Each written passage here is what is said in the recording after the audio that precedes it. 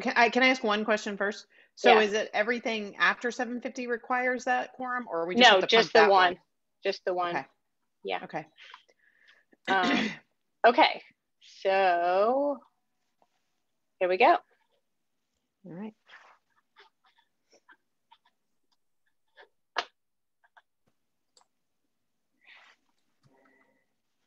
Uh, I see Square is still populating, so. Right, do we have everybody in? Yes. Looks like it. Mhm. All right. Uh, hi, everybody. Um, I'm Marissa Elkins. I'm uh, Vice Chair of the Planning Board. I'm filling in for uh, George, uh, never say his last name right, Kohut, uh, who is away. Um, and uh, so uh, thank you for your patience. We are a little short-handed tonight, and so we were trying to see if we could uh, have a quorum we need, which we have a quorum, the quorum we need to begin, uh, but uh, uh, at 7:50 that hearing, uh, we need to acquire one more person um, for that hearing. Um, but we'll we'll keep you posted. We're we're working on that. Um, so um, just to begin with on the agenda, uh, we uh, before we get started with the agenda items, um, I would like to open briefly for um, to hear if there's any public comment. I would just note that the public comment period is for anything that is not on the agenda tonight. Uh, if you have something you want to address to the uh, the planning board, I would also note that anything that is scheduled to be or expected to be before us in a future planning board uh, uh, meeting, uh, we cannot hear comment on that um, because that would constitute ex parte uh, communication without both uh, without all sides present. And uh, so, if you are commenting on something that we know is coming before us uh, in a in the in the near future, um, I will be cutting. I will have to cut you off because to allow further comment on something like that will be would be a violation of open meeting laws. I would note that um, there. Uh, I know there's some discussion in the community about um, issues around the St. John's Church, and that is something that we are going to be uh, hearing in the future, uh, in the near future, and there will be an opportunity to speak on that issue. So if you're uh, if you're hoping to comment on that tonight, that is going to be something that, uh, according to open meeting laws, I will not um, be able to uh, allow to proceed tonight. Um, but you will have another opportunity in the future to speak um, on that. So, so with that said, um, if you can uh, raise your hand icon, or if you can indicate. Um, uh, so I see uh, Terrence Masterson. And do I need to? You need to unmute yourself, Terry.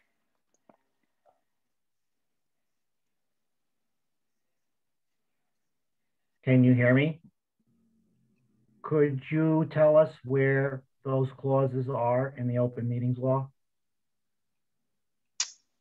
Uh, I off the top of my head, I cannot. I do. Uh, I do know that um, uh, a uh, uh, that it is a, uh, a that hearings where there's something at issue that's before us um, is uh, requires that we hear f- that both parties, any parties, interested parties, have the opportunity to speak, and are, and it's not uh, that we don't take comment uh, when everybody hasn't had notice and opportunity to be present. So, so no, I don't know the clause off the top of my head, What- but I do. I'm confident that that is what's Okay. expected of You me. can't cite the clause, and you are also saying in essence that you cannot entertain public comment on a topic that is not on an agenda right now. That that is correct. That it is it is. Uh, I can't under on something that I know will be before us, uh, and on the issue Okay. of uh, specifically, I can I can tell you that if it's the St. Edward's Church, that is a matter that's on appeal that will be coming back to the planning board uh, in the future. So we we know for sure that is on appeal, and that is something that could come before us, will come you- before us. Did you say? That's under the, um, that's under, um, St. Edward's, St. MGL.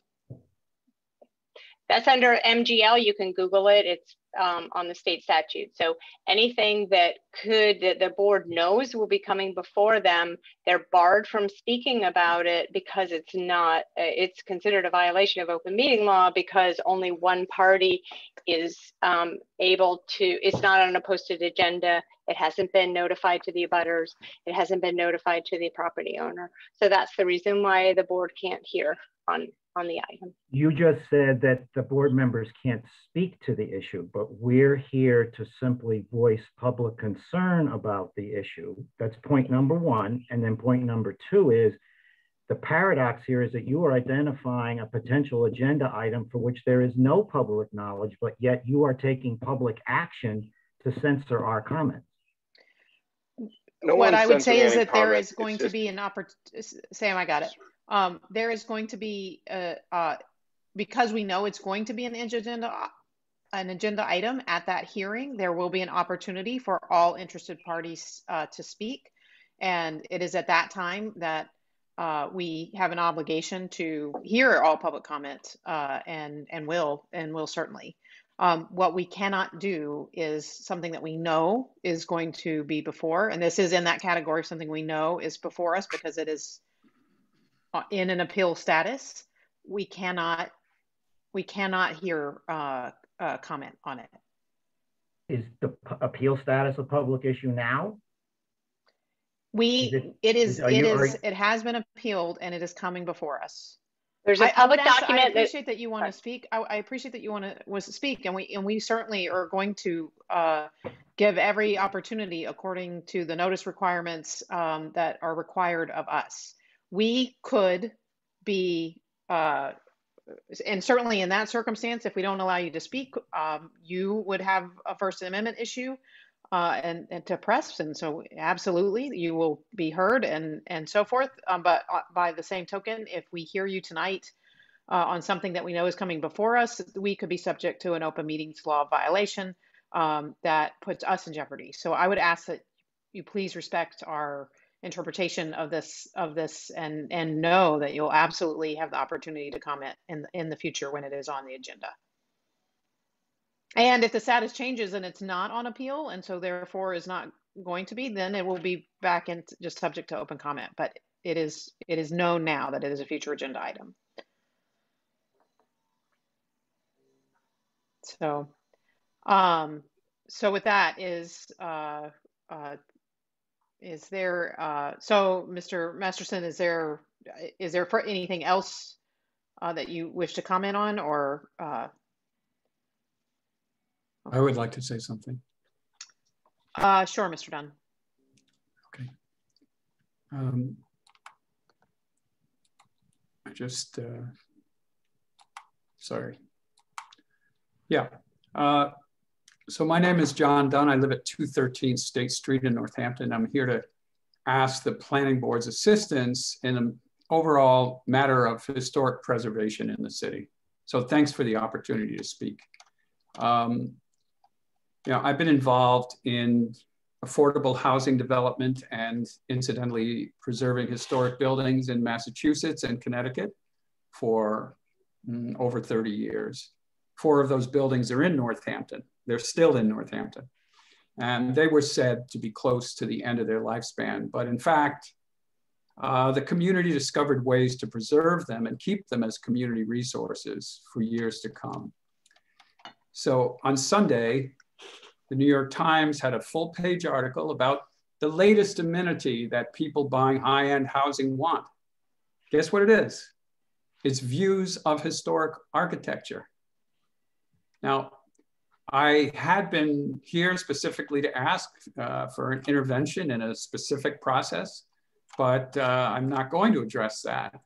Um, I don't claim to be an expert on zoning, but uh, it appears to me that many of the ordinances, the regulations uh, surrounding historic preservation in the city are flawed and they're in conflict with one another and they need to be looked at very carefully.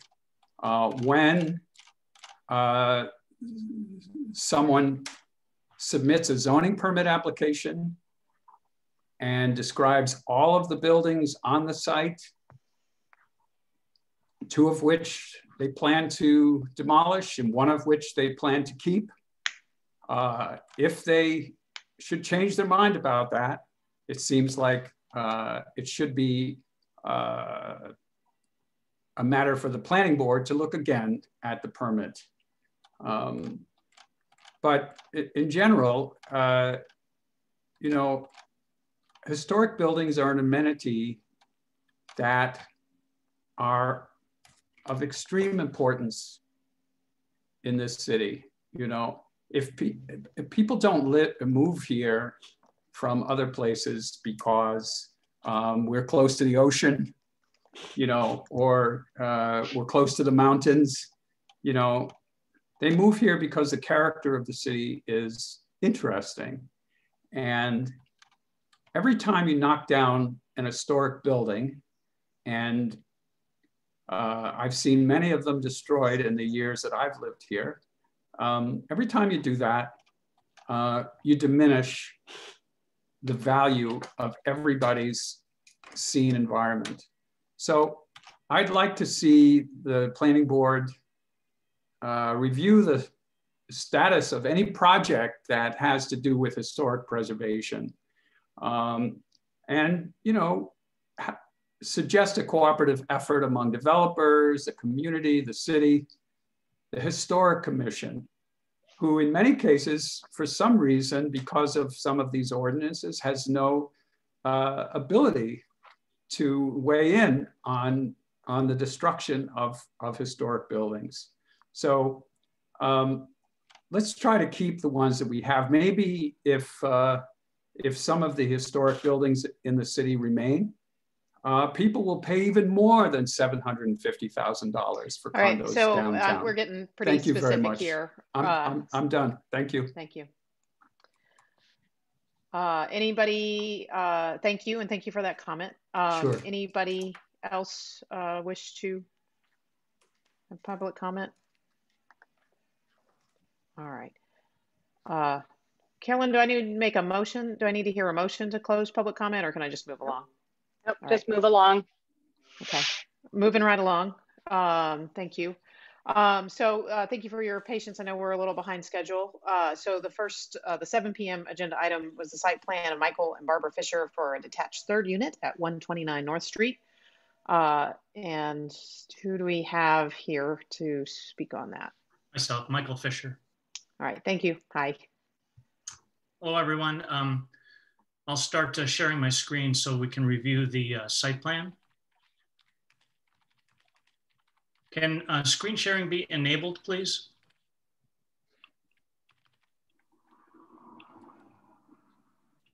We need to make a motion to start the public hearing.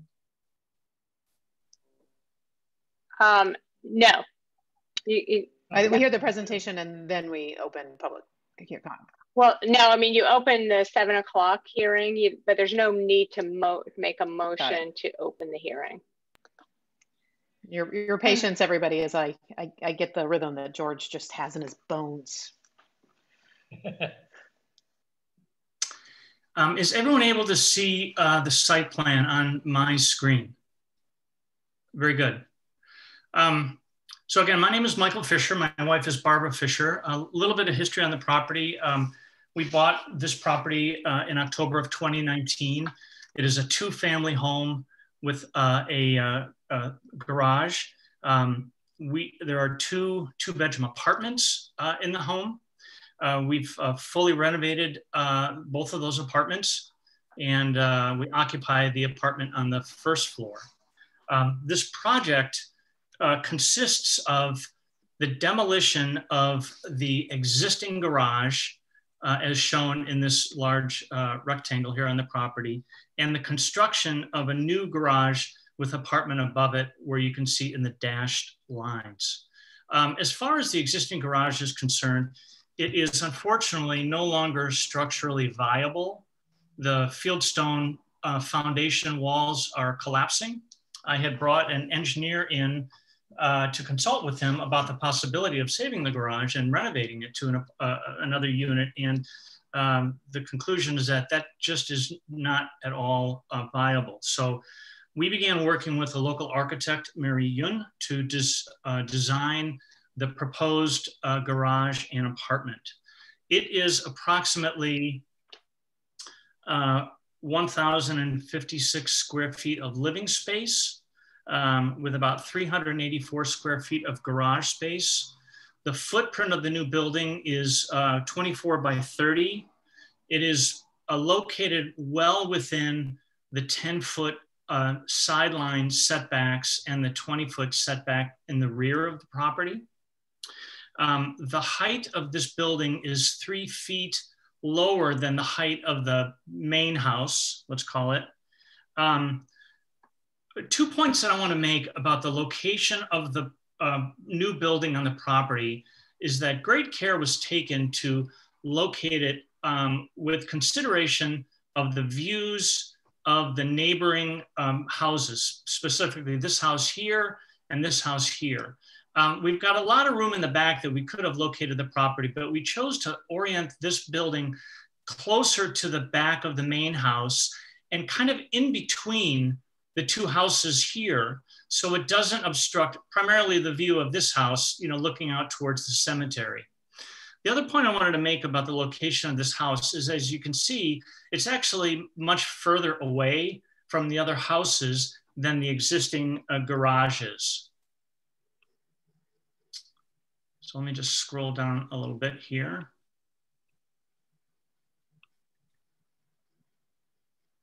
Another view of the property. The driveway will be located along the right-hand side of the property. Uh, there is no new curb cut that's necessary for the driveway. Um, the open space on the property is at 55.3%. Um, there is parking for six cars on the driveway. I'm sorry, five cars on the driveway and a sixth car in the garage, right in this area here. Uh, the utilities for this new building are accessed from the basement of the main house. When we upgraded the uh, electric on the main house, we installed a third electrical meter and panel, an owner's meter. So the provision was made to be able to, to um, access uh, those utilities below ground. Um, the, the sanitary sewer connection will be made right under the existing driveway now. It exits the house to the side near the rear of the house and we'll be able to tie in uh, back there. Um, the front view of the house, looking at it from the street, is as you see it here. Um, the color palette will be in keeping with uh, the neighboring structures. Um, I think it's going to be uh, largely white with uh, black window trim. So it'll be very, very uh, in common with uh, the main house of the property and other houses around it. Um, it has a, a, standing seam, metal seam roof that is solar and PV panel ready. Um, there are dark sky compliant uh, lighting fixtures. Let me scroll down here and show you the side view of the property. Um, this is the view um, seen from the neighboring houses.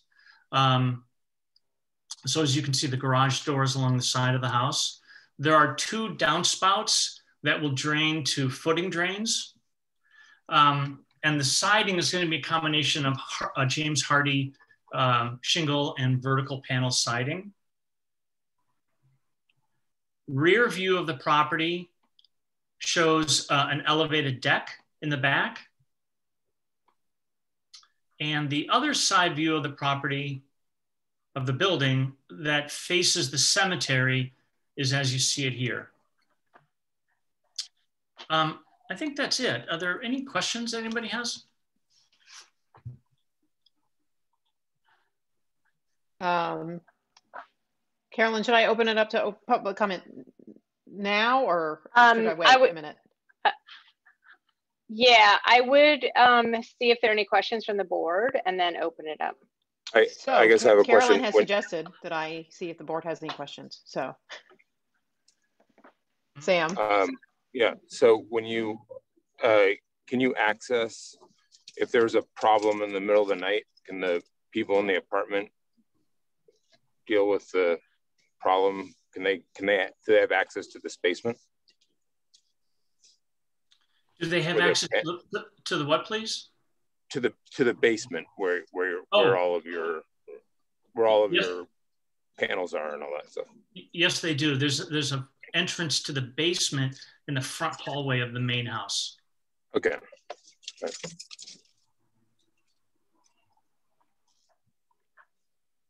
Any, anybody else?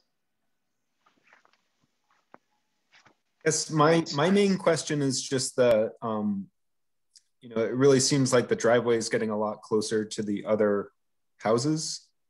Um, so I'm just wondering how you're handling any kind of screening.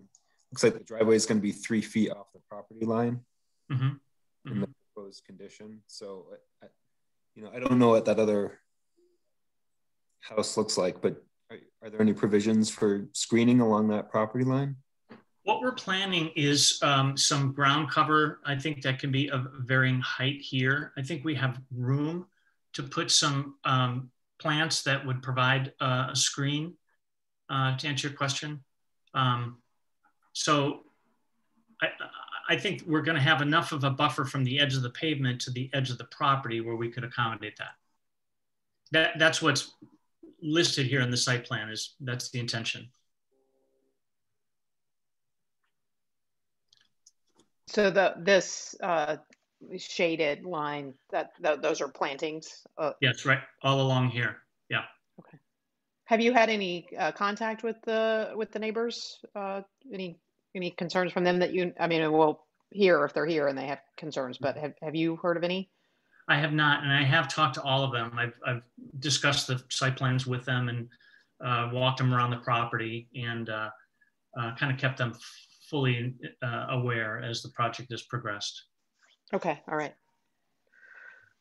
Um, I will add, there was one abutter who um, just sort of noted that they were concerned about um, the sort of loss of their view into the backyard, but understood that, you know, they couldn't protect that. That's in the record, that's in the file, public file cabinet. Mhm.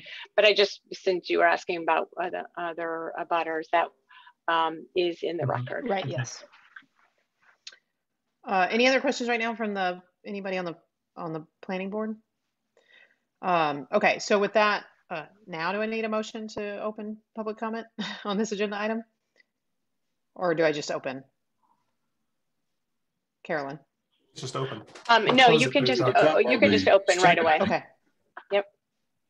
Um, okay, so, uh, with that, um, is there, uh, can we go back to the gal, the Brady Bunch view for the moment? I'm a host, I guess I could do that, huh? Yeah, I can um, stop the screen share too, I think. I'm going to stop Just, to my end. Yes, please. We can put it back up if, if, uh, if we need to. Okay. Can You need to just hit the stop share.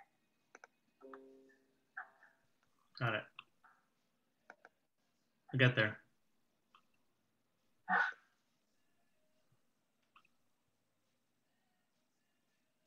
You see where it says you're viewing Michael's screen?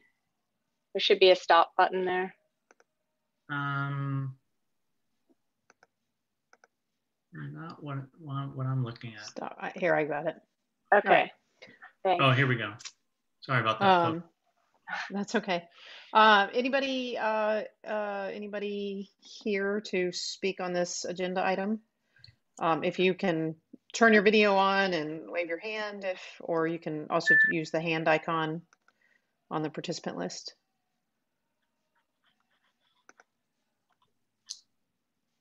Uh, so I'm not seeing any, I'm not seeing anybody. Um, so, um, Carolyn, um, if we can, can hear from, from, from you.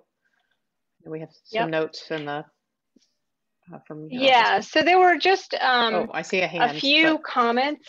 Go ahead. Oh, go ahead. Well, yeah, let me address this. I didn't, I didn't see.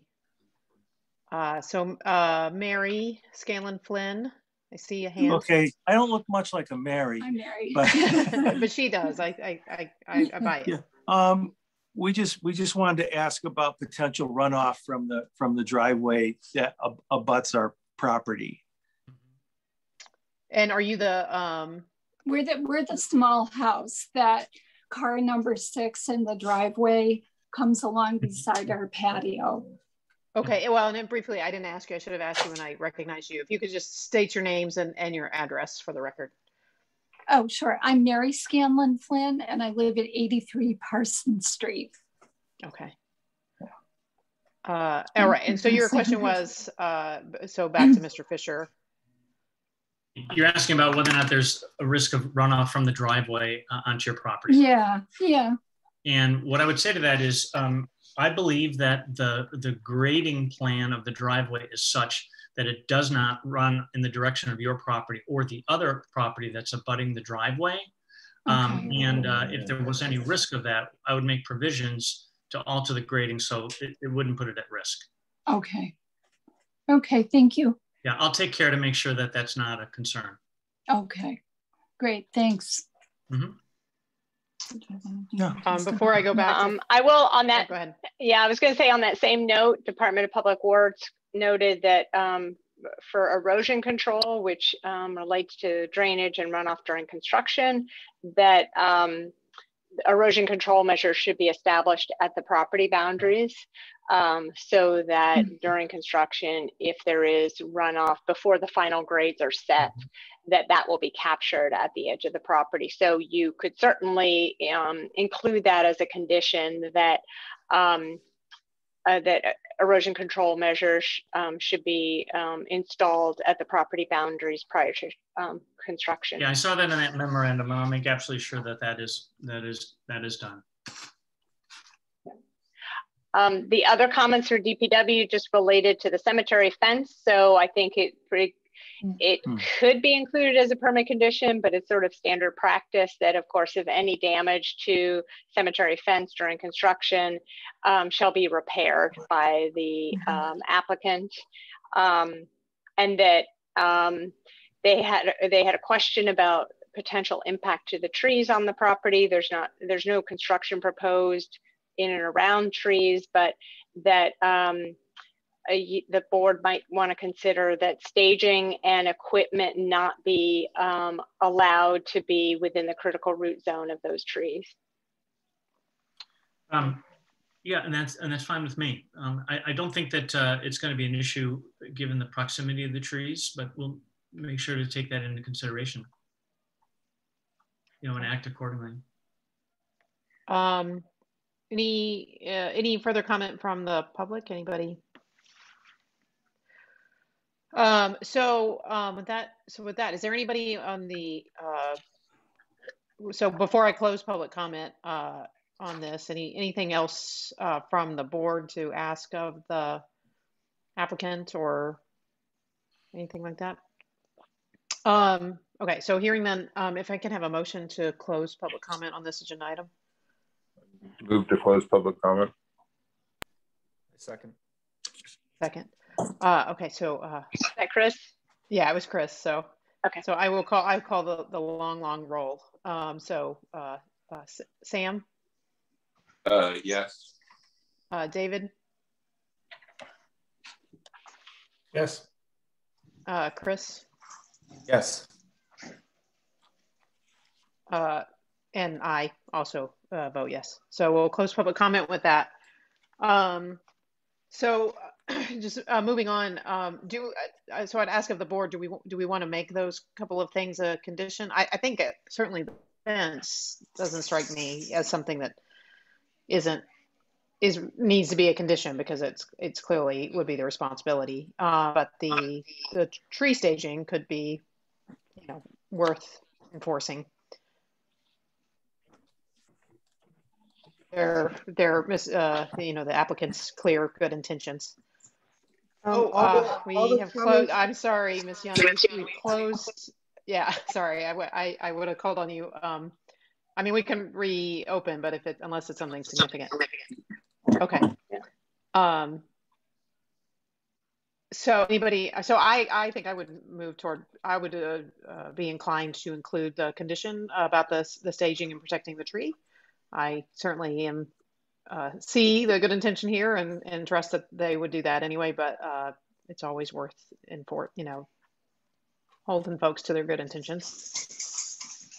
Okay. Um, any, anybody else? David, Chris, Sam? Okay, so um, hearing no further comment from the board, um, can I have a motion to uh, uh, pr- approve the uh, approve the site plan with the condition about uh, staging and, and tree protection? Anybody? Yes, actually we could add a we could add a uh, condition for the grading that they discussed with the neighbor. Okay, yeah, I think that seems fair. I understand. I'd like Uh, that we approve this uh, application before us um, with the following conditions. uh, That pre, that tree protection be provided during construction. That the driveway be graded to direct stormwater runoff away from abutting properties. And I'd also like to add that uh, erosion control measures be um, set up during construction as well. Oh, good catch. Carolyn did also mention that. Do I have a second for that? Second. Um, okay, so it's been moved and seconded. Um, so Sam, how do you vote? Yes. David Whitehill, Yes. Chris, Kate, Yes. and I also vote yes. Looks like a nice project. I'm glad, and always glad to see people uh, an additional housing so close to town. Good luck with your project. Thank you very much.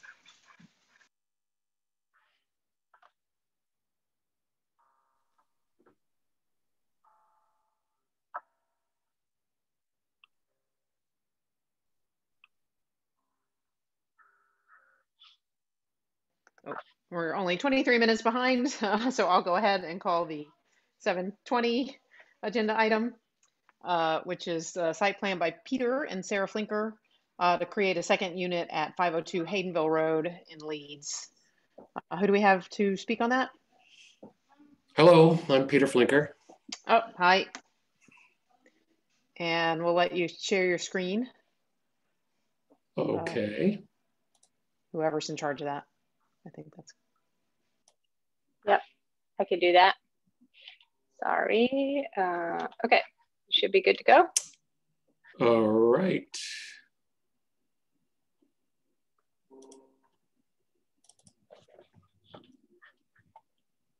Let me find the right. I'm going to start with the, um, the overview. Can you see my screen? So this is just the location of the site. This is on Haydenville Road, which is Route 9, um, toward sort of past, we're part of Leeds, but we're kind of in between Leeds and Haydenville. So this is, uh, you've got St. Mary's Cemetery, and then you have uh, one neighbor, and then you have our house, and then you have the electric company. And behind us and across the street is all city land, the Beaverbrook Greenway. So if you see the lower image, this is all an entirely an existing structure. So this is a house from about 1870. It was uh, sort of big house, little house, back house barn configuration. And the barn fell down in the snow in uh, 2007. And we uh, decided to rebuild the barn. And then we decided um, to make that the kind of the new residence or the new central part of the house. So we moved into the barn in 2015 after eight years of construction. And then the idea was always to turn the older part of the house in the front into an apartment. And then um, in the meanwhile, uh, one of our, our, oldest daughter continues to live in the front part of the house. And my wife and I live in the back in the new addition.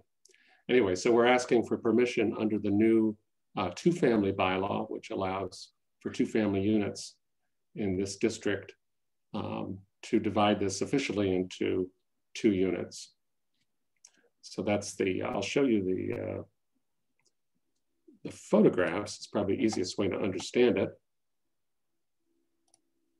So this is um, from the street, the bottom view shows the, um, existing older house and the barn is basically on the footprint. We call it the barn, it's the, the, the main unit now. It's on the footprint of the original barn and you can see in the upper house, the upper photograph, the original house and then the barn, which the original barn was set into a hill. And so we kept that so that the bottom is kind of a walkout basement in the lower level, and then we have two floors above that. So essentially, we're keeping everything as is. Uh, we're just, um, again, asking permission to officially have uh, an apartment in the front unit. And what that really means is putting in a kitchen because the building department, when we built the new unit in the back, they required us to eliminate the kitchen from the front, which had been there. And uh, so we basically have been sharing the kitchen in the new house, and then the idea is to have a new kitchen in the front. So there's existing parking for uh, at least four cars as required. Um, what you can see here is the two cars that are sort of parked in the back part. And then these are the two spaces that are in the, the front. So there's sort of two pullouts where we commonly park, as well as a garage where we could park if it wasn't full of stuff. And someday might, might be available for parking. That's my dream. Um, and then the front part of the house, basically existing uh, house. And then the, this is the view to the north.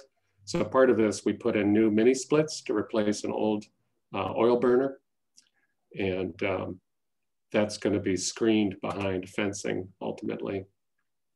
And it already is pretty much invisible from the street.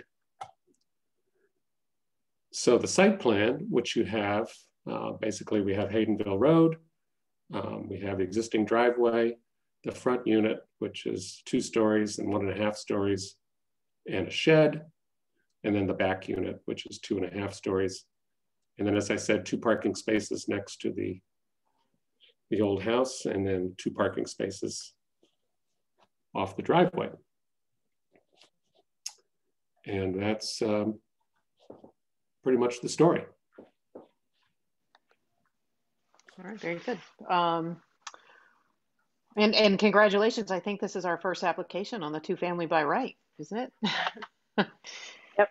Um, anybody on the any?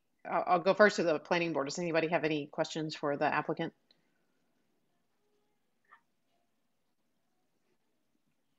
No, no. All right. Straightforward um, thing so, I've ever seen, in my opinion. Do what? I said this is the most straightforward thing I've ever seen, in my opinion. Uh, yeah, it's it is pretty straightforward. Oh, um, also, uh, I, I will uh, go back and uh, tag back something that I should have said earlier. Um, this agenda item and the previous agenda item were, uh, uh, and all the future agenda items for the the night are uh, were posted in the Gazette on April 29th and May 6th. So uh, just want to cover my base. I may say it again just to make sure, but um, that this is this was uh, posted. Um, so with that, um, I would open it up and see if anybody in the in, in the public here has any um, comment about this or uh, about this applicant application.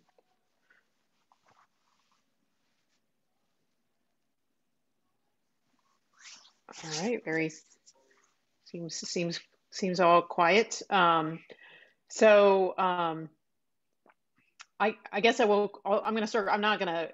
I'm going to close everything all at once, uh, just in case anybody pops up with a question. So, so I'll ask the planning board one more time. Oh, and Carolyn. Sorry, Carolyn. We want to hear from Carolyn. Okay.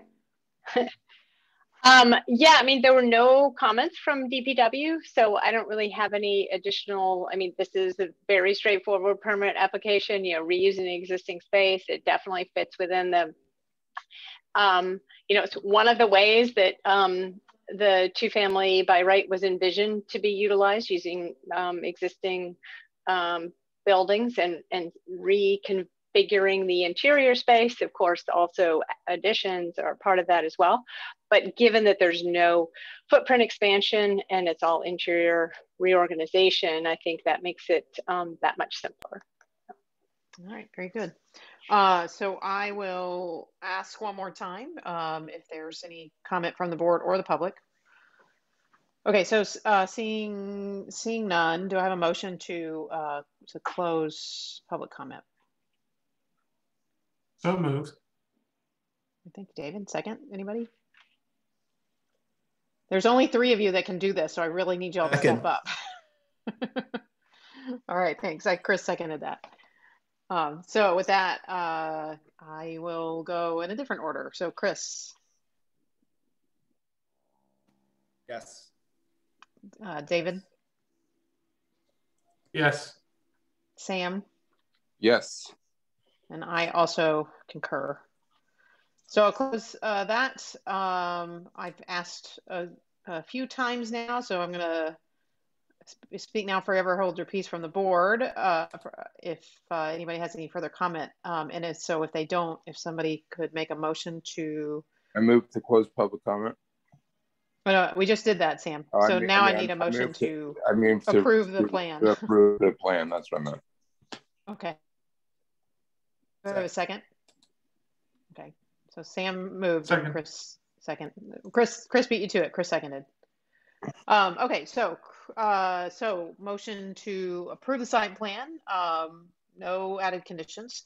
Uh, Chris. Yes. David. Yes. And Sam. Yes. And I also concur. Yes. Congratulations to the inaugural two family by right site plan approval. Thank you very much. Very good. And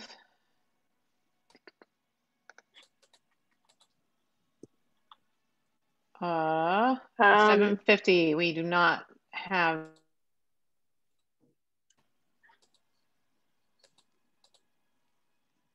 I am just going to see if I can um, take one more moment to connect with um, Melissa to see if she could pop in by any small chance. All right. Um, well, the next thing isn't until so- we have caught up uh, in time almost entirely, and the next agenda item is until 8:10. So we have a, a a couple of minutes. So we will try and see if we can Okay. make this quorum happen. Yeah, we also can do other items if you just give me one second. Um, let's see. Um,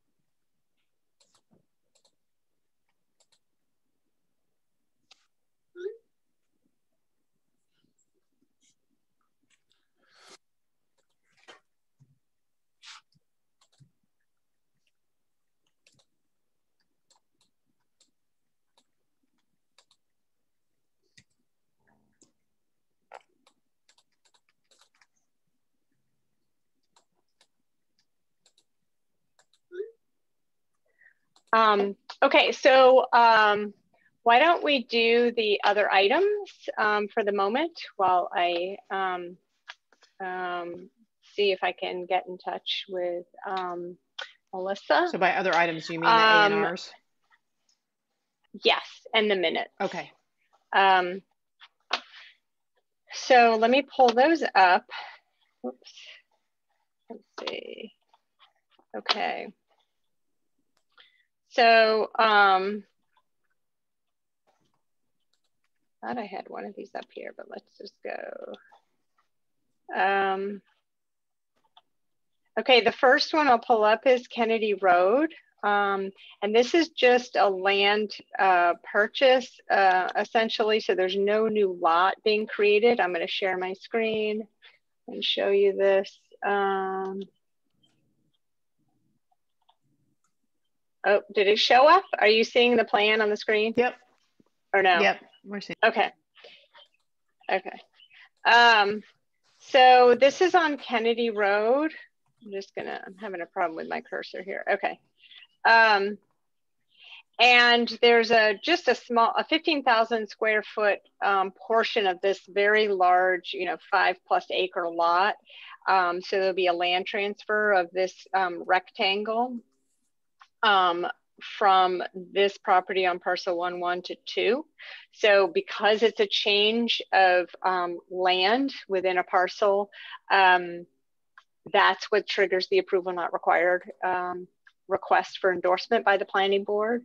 Um, it's noted that um, this is not considered a building lot and it's really just going to be swapped from one property owner to the other. So I just need approval, um, a vote on endorsing this as an A&R plan. Move to endorse the A&R uh, on uh, Kennedy Road. Second. All right. Uh, was so, that uh, Chris? so that was moved by Sam and seconded by Chris. Uh, so Chris, how do you vote on this thing? That Yes. Approve. Yeah. To- uh, endorse. We endorse. Uh, David, how do you vote? Yes. Uh, Sam Yes. and and I also because I must vote yes. yes. I will You always have a choice. that I must Okay. vote yes. okay. Um, let's see. I am looking for the next one here is on Baker Hill Road. Um, let's see. Okay. Um, and let me just pull up the A&R. Okay, I'm gonna zoom out the screen a little bit. Okay, so um, this is um, this is I'm going to zoom out a little bit on this screen so you can get sort of the bigger picture. But there are some lots at the very top of Baker Hill Road that, when originally approved, the frontage that um, was created actually went down the back side of the hill to Riverside Drive. Um, and so that's what these flag poles are in this in this plan here. These 50 foot wide um, uh, flag poles that went down to Riverside Drive, and those created the frontage for all the lots surrounding this, um, what was initially approved um, through special permitting and site plan back in the 80s, I think it was, for a lot, these large lots at the top of Baker Hill. Um, about five years ago, I think it was 20, I can't remember what year we're in. It was about four or five years ago. Um, there was a petition for the city to accept this section of Baker Hill Road. Um, it was only a public street a certain part of the way up Baker Hill Road. And um, about four years ago, uh, the petition was put forward to the city to accept this whole rest of Baker Hill Road where there's this um, turnaround. And so in doing that, the city did vote, city council um, voted to accept this portion of Baker Hill Road. And so the whole length of Baker Hill Road is now a public street. Um, the city um, accepted that. And by doing that, that creates frontage along Baker Hill Road for all of these lots, which makes all of these flag poles unnecessary going forward because the frontage can now officially be taken from a city accepted street frontage of Baker Hill Road. So what this applicant is doing, the lot is over here um, and their flagpole stretched across or under what was previously just a driveway. And so they're going to essentially cut off the flagpole that went down to Riverside Drive and then sell the flagpole to the abutting property owner because they no longer need the flagpole for frontage. So that's what this um, A&R is about. People are so creative. And why? and why are they doing all that?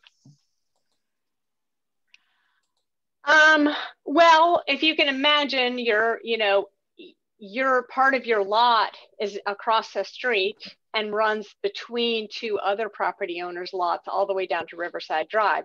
That makes it pretty difficult for maintenance. You are obligated as the property owner to maintain this whole stretch of lot that goes all the way down. So it makes it it simplifies the plan. That makes it easy for everybody to read and look at, but also in terms of maintenance um, for that um, portion of the property. You don't want to shovel 50 feet of sidewalk on Riverside Drive anymore. Exactly. Uh, yeah, that's my question. Are those uh, 50 feet of uh, on around the corner being being adequately shoveled? It, please don't. that's a high. That's a rhetorical question. I don't actually want to know the answer to that. There's there's no uh, shovel there's no sidewalk. Might not be sidewalk. There's, there's no sidewalk. Yeah. um, yeah. So with that, do I hear a motion to uh, yeah, I'm, uh, I'm endorse this? Move we approve. Second. Second.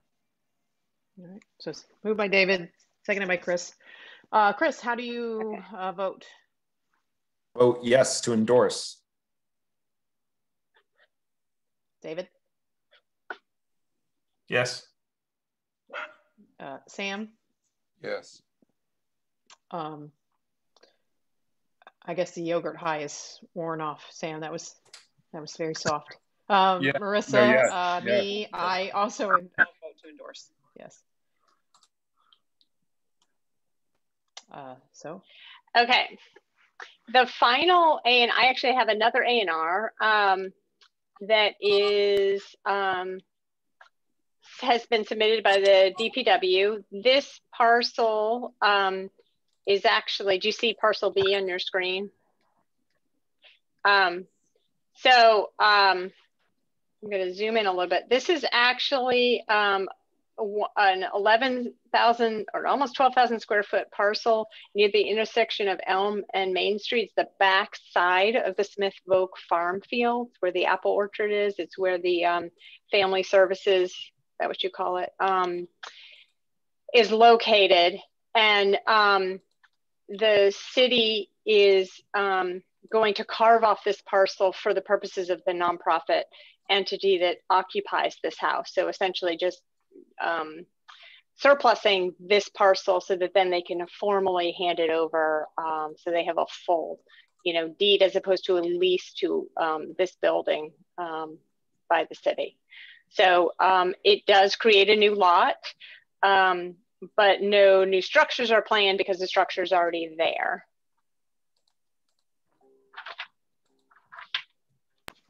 All right, any questions from the, the board? Anybody? Okay, um, so do I hear a motion to accept this ANR uh, on, or endorse this ANR on 593 Elm Street? I move to endorse the ANR on 590, 593 Elm Street. Second, anybody? Second. All right. Um, so, uh, Chris, how do you vote? Yes. David? I think I heard him say yes. And Sam? Yes. Yes, yes. And I also vote to endorse. Okay. So um, unfortunately, I've not heard back from Melissa, so which means she's probably deep in healthcare um, world right now. Um, so just to reiterate for everyone here and uh, including the planning board members, um, I think we've had a um, technical difficulty with um, George being able to call in um, to the meeting. I thought we had um, a quorum for the 750. The issue is the 750 item is a special permit, which requires five um, unanimous uh, or five votes uh, positive to approve a special permit. Um, that's a super majority of the seven and that's required by state statute. Um, site plan approvals only require four um, votes, which is why you could continue with the other items on your agenda. Um, we don't have um, uh, five people at the moment, which means that um, we'd have to continue the hearing um, to May 27th, I think is the next possible hearing date, uh, May 27th. And so far, I don't see why we would have a problem. There was just sort of a confluence of bad events that happened in the last um, week or so. Um, so um, I'm, you know, I, it was something that was, you know, um, not um, uh, it's so unusual or unknown in this moment that we, yeah, uh, that we people are away. It's a it's a return to a quorum juggling that that of, of a of a of another era, I think. Right. Um, can I ask Carolyn? Right. Um, I am assuming we can't we can't uh, sort of leave it and see if uh, if we get that fifth person and and move it to the end. It just has to be continued at this point if we don't have the quorum. Yeah, I mean, if the if I mean, the applicant there, to do that, I guess. Yeah, I mean, there's certainly no um, there's no harm. You could sort of um, continue it to the last item. So you could start by um, so the the we have two other items, one scheduled for 8:10 and one scheduled for 8:30. So um, you um, if, for instance, you could continue it till um, 8 840 or 845 and give a little bit more time to see if I can get a response. Um, um, I'm not necessarily hopeful because the one issue I know that there was, you know, there's a there's a health issue yeah. in, involved, and so I don't want to assume that that's going to happen. You certainly have the prerogative to do that if the applicant wants to do that, or you can just go ahead and continue it to May 27th. We actually have an open agenda for that meeting. So you could put them right up at 7 p.m. and there's nothing that would come before them. They could come, you know, be right up first off on the agenda. Right. Um, so Mr. Broadbent, uh, I'm sorry, I know you, you've been here. Uh, I, I, it's okay to ask, right, Carolyn? Yeah, okay. Yeah, absolutely. Um, yeah. Sorry, you know, I'm the, the open, open meeting law. I really trying to make sure I don't, uh, run afoul. Um, so, Mr. Broadbent, as you can hear, it, it, it's not looking promising that we're going to get that quorum. But I, you know, I I'm guessing we wouldn't have an objection to uh, waiting. Uh, I mean, we can't wait; we have to proceed. But um, with you waiting and seeing, but it I it doesn't sound it doesn't sound promising. Uh, and I will. To the extent that we've asked this other planning board meeting to get on if she can, given the circumstances, I, I think I'd I would prefer that we not ask her to do that unless she, uh, you know, just really is able to. But but we would. You are on the agenda, and so I would ask, I would ask you if you would like to try and wait or not. Okay, uh, thank you. Um, Eric at 95 Barron Street currently, and um, I'm here with my wife Susie McCrae and our site planner um, Jeff Squire from Berkshire Design Group. I I think we'll one of us will hang in uh, and just wait off off camera and uh, muted just to see. It's we have everything queued up. We were delayed once, and so you know maybe good things will happen. So thank you for um, your consideration on that. Okay, all right, thank you. And and uh, again, we we do apologize. It's uh, it is a like I said a throwback to a different time where people are actually being out of town, and there's some health considerations, and I think we have a member who's taking maybe in the middle of exams uh, and, and uh, things like that. So, uh, so I appreciate your patience and uh, notwithstanding my pessimism. Yeah, Chris.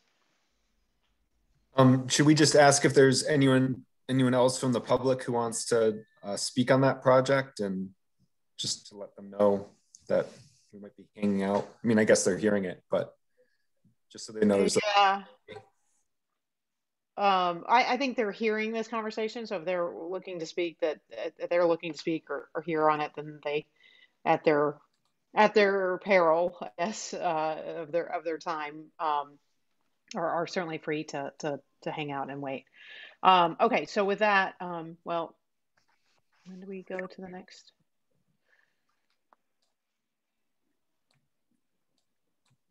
uh, oh, so eight, 10. Oh, so it's 810. It's 810 now. It's 811. Yeah. Uh, so we will go to the 810 uh, agenda item. So this, which is a site plan for the second curb cut at uh, 415 North Farms Road uh, in Florence. And we have the Macklers here, I think. You have Fred and Sue Mackler here. Yeah. And also Robert Vollinger as a public comment when I get a minute to speak. All right, very good. We will open up public comment uh, after the presence the presentation. I'm asking for a curb cut in a spot where there never was a curb. So it's kind of an odd request. For well over 100 years, the Vollinger family farmed the hayfields that we now own, and they gained access to it directly on North Farms Road. Our home has frontage on the north side and on the south edge of our property. Our driveway is on the north side, and the south side edge is where the farm equipment has always accessed the field. We've lived there for 30, nearly 36 years, and Bob Vollinger and his father, John, before that, have always hayed this field. And now North Farms Road was repaved, which it badly needed. And in the process, a curb was placed there, which makes it very difficult or impossible for Bob to bring his equipment in, which he does maybe six times a year. Uh, you want to see a screen share of, of the plot? You should be able to bring it up. Uh, yes, please. Do it. Just give permission. Right.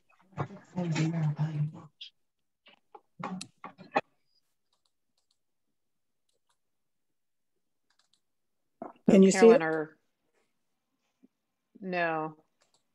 Uh, no. Did you If you're, Who is trying to share? Macklers? yeah. So I did uh, give you permissions. If you're having trouble sharing, I can also, um, I've pulled up your plans on my screen. I'd be happy to put it up Thank you. if that works. Thanks. Okay. Um, can you see that? Let's just, Yep. um, so this is the area of the curb cut. Yes. Uh, the existing driveway is here and the existing home is here. So I'm just going to zoom out a little bit.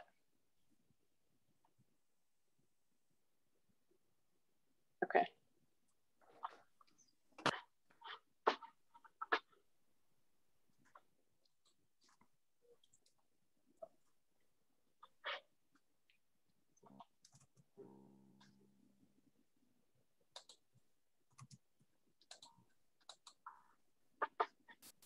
Um, so I don't, so the issue here is that a second curb cut requires a site plan approval by the planning board. Again, it's a simple majority approval, um, but there's the requirement, um, regardless of whether there were never curbs on North Farms Road, the city made an investment to um, rebuild North Farms Road and at that time created curbs for specific drainage um, to go certain locations and um, curb openings are granted one per property unless special permission is granted by the um, planning board and the standard is um, that the curb um, that more than one curb cut can be uh, granted um, if it um, is um, improves the safety within the network, essentially. The um, site plan review criteria is that, um, um, that there's something unique about the property that would otherwise render flow to and from the property unsafe and unmanageable.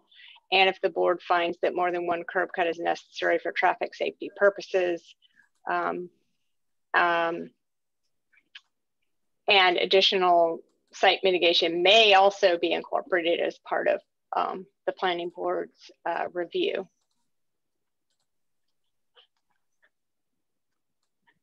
Well, I guess if a hay wagon tipped over trying to negotiate this high curb, that would create a traffic hazard, and we could maybe qualify under the traffic and safety clause. And Um, me entering and having to slow down, not being able to enter the field like I used to be able, slowing down to approach and climb up over the curb is going to be blocking traffic a lot longer. Um, a question that I have is that when the city went in and, and added these curves, were, uh, I mean, is there any process for, um, uh, for property owners to weigh in or ask, uh, at, at that time, um, uh, sort, you know, sort of notice that they might need to ask for a, a permit at that time before the curbs go in? Because now, I mean, like, it's one thing to be like, design it in the curb cut. It's another thing um, to, and this is a question for Carolyn. So if you, um, it's another thing to having now ha- put it in to now, you know, kind of tear up the road and, uh, and, and, and, and undo some of the work that was done. So that's, Yeah. a, I think, a question for Carolyn. If, if you know. Um, I don't know the specific process. I do know that, um, you know, where there are where there are driveways um, um, and access points for homes, that's where the curb openings are created. So given this is a, um, you know, not a situation that's, that's used very infrequently, it's not surprising to me that um, during the construction phase that um, that DPW didn't plan to create an extra curb because in at that point it's considered an extra opening. Um, it's right by a wetland. There's um, an electric utility pole. Um, they were planning drainage there. There's a catch basin.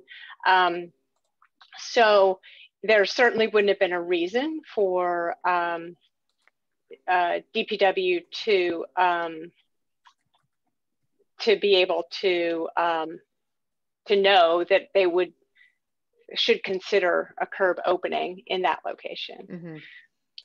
But no uh, sort of automatic notice. I mean, because my question is, or I guess my thinking is, it's like it's not it's certainly not the case that they would be like, oh, you just want another curb cut, so we'll design it in. Um, if that wasn't, but but to make their application at that time before um, before the curb. If, if I can weigh in, Dave, David Arbeitman with Sure. Rachel Naismith. Our house Um, well, hold on just a second. Um, I want to make sure that the board that um, um, there aren't any other questions by the board, and then you maybe yeah, we'll come back to you that just up, one second. um, Marissa. Yeah. Sure. Uh, anybody else from the? Is, is there any documentation of sort of the pattern of use of this space prior to 2000? When was it, what year was the repaving? 2020. Yeah, the, it was 2020. The only documentation of use Okay. is that we are a registered farm, and that was always the access. And never would we have imagined that a curb would be put in there. There are several properties on North Farms Road where there was a second access point for farm equipment, and no curb was put in to, to block their second access. So, and, and no, we were not asked beforehand. So um, it was a very big surprise to us that a curb was put there. So can I ask the equipment that has to go in there? I mean, tractors, I would guess could generally could navigate a curb pretty well. Is there is there something I'm not understanding about this particular equipment or? Um, Bobby Bollinger is the person who farms Yeah, it for us. yeah, I'll, I'll, I'll speak on that.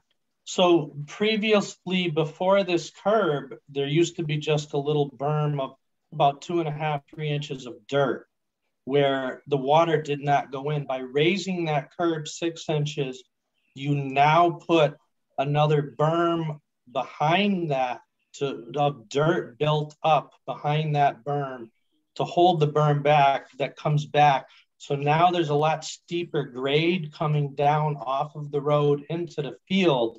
And the grade was so steep coming into the field before, prior to that six inch berm being installed, that coming in and out, I dragged the hitch of my baling and other pieces of equipment coming in and out of there.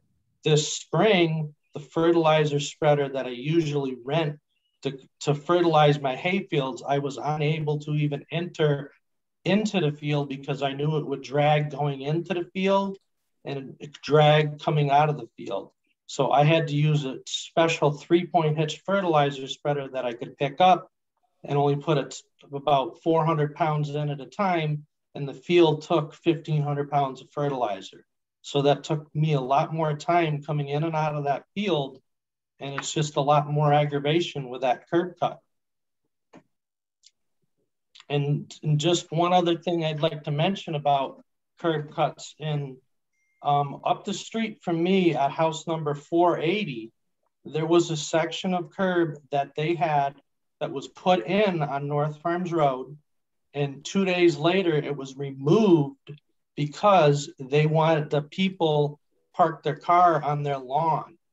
And they already have one curb cut as an access, but there, there was probably about a 14 foot section of curbing that was removed for them that they only have, I don't think they have two acres of land and they already have a curb cut. I don't know how they got their section of curbing removed so quickly. Uh, yeah, right. Well, it's hard to speak to that. Um, can I ask, is there, um, uh, is there access from the parcel to the north? Are there other areas to enter from? So if I enter down Fred's driveway, he has a driveway where the water comes down his driveway, comes from his driveway into the field. So the water runoff, I can't go down and enter from on the edge of the field because the water from his driveway runs onto the edge of the field and my heavy equipment sinks in and makes ruts in the field. I don't hay closer to his driveway because I can't because the water runoff from his driveway. So I can't access through his driveway property. Um, I, I think any- I think Marissa is asking about from the north part of your parcel. From the north part of my parcel? No, it's the Like north by part where our the house is. That's where the driveway that he's talking That's about That's the driveway that I'm talking about. If I, I can't access through, I could go down his driveway, but when I come off of his driveway into the field, the, the runoff from the water from the driveway, when it rains is too, it, it, you know, like, just like a road runs off blacktop and into the field there. And when I Right. go in with my heavy equipment, I sink out of sight, create ruts and make a mess. Okay, That's why we've always come in from the other parcel. okay. Uh, any other questions from the board right now? Okay. I have Um, a so- hypothetical for Carolyn. If Go ahead, they if they did an ANR for that rectangle or for that square piece, would that get them a curb cut by right? Um, they can't do an A and R because they don't have enough um, uh, frontage for that. This um, area requires 175 feet of frontage. They are actually have been contemplating creating a flag lot um, or two flag lots, but using the existing driveway as a shared driveway um, to a second proposed lot. And that's because they don't have 175 feet of clear frontage for each parcel. Mhm. And, and in fact, this the city would not likely approve any kind of driveway there. So certainly using six times a year for agricultural purposes to run a tractor through this area um, would could continue, but formalizing a driveway um, and through a cut, the driveway itself would not be allowed to be constructed, only a curb opening because the wetlands and uh, perennial stream are right there. Are there any um, restrictions that you know of um, off of the driveway by the property where this runoff is, where the property owners couldn't uh, improve that area in some way to um, allow for tractor access from their uh, garage? I mean, from their garage, from their parking, uh, from their driveway. I'll come up with the word eventually. From their driveway, you know, by by improving drainage or uh, anything like that. Is there any No. restriction because of the wetlands that I? This is a question for Carolyn first, and then I'll I'll ask the applicant. So at the end of the existing driveway that goes to the house, are there any wetlands restrictions? Yeah, that you know of. I if if you do. Not not that have been flagged, so I don't know. It could very well just be that there's uh, soil saturation and it's just wet um, because of the grade and the drainage. I don't know. So, so then I would ask the applicant that question. Is there any reason why you, you couldn't improve your, your property from, from that point to create an access point for the? I don't think it can be done. Equipment? It's a very steep driveway down and it, the runoff is into the field, but it isn't wetlands there. So at the bottom of the driveway, all the water from the driveway from North Farms is going down into the bottom into the field. Mm -hmm. And also so, the sorry, no, also ahead, the incline from the driveway that they have going down into the field where I would be accessing is a lot steeper than where I would be entering from the lower section on North Farms Road. I would run into the same problem dragging the hitch of the baler and equipment up that steeper hill. And it being, mm-hmm. it's, it's just soil. So going up a, a hill when it's wet if I start sinking in or slipping with the tractor, I'm spinning and I'm I'm creating ruts. Sure. Um, okay. Any any uh, for the moment last questions uh, from the planning board? Okay. So hearing none, I will uh, hear uh, public comment. So I come back to uh, so if you can state your name and your address uh, for the record, please. Okay. And that's David and Rachel that I see. Um, uh, David Arbeitman, I'm at, and Rachel Naismith, 357 North Farms Road. So um, our property is right next to, our house is right next to where the proposed curb cut is. And I should say that over the years, um, you know, tractors have gone up there. It's never created a problem for us um, and I understand the concerns that are being raised.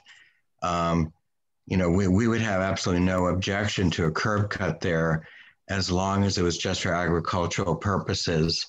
I understand that they're contemplating building some houses up there and want to make sure that no construction uh, in the, you know in that through that curb cut.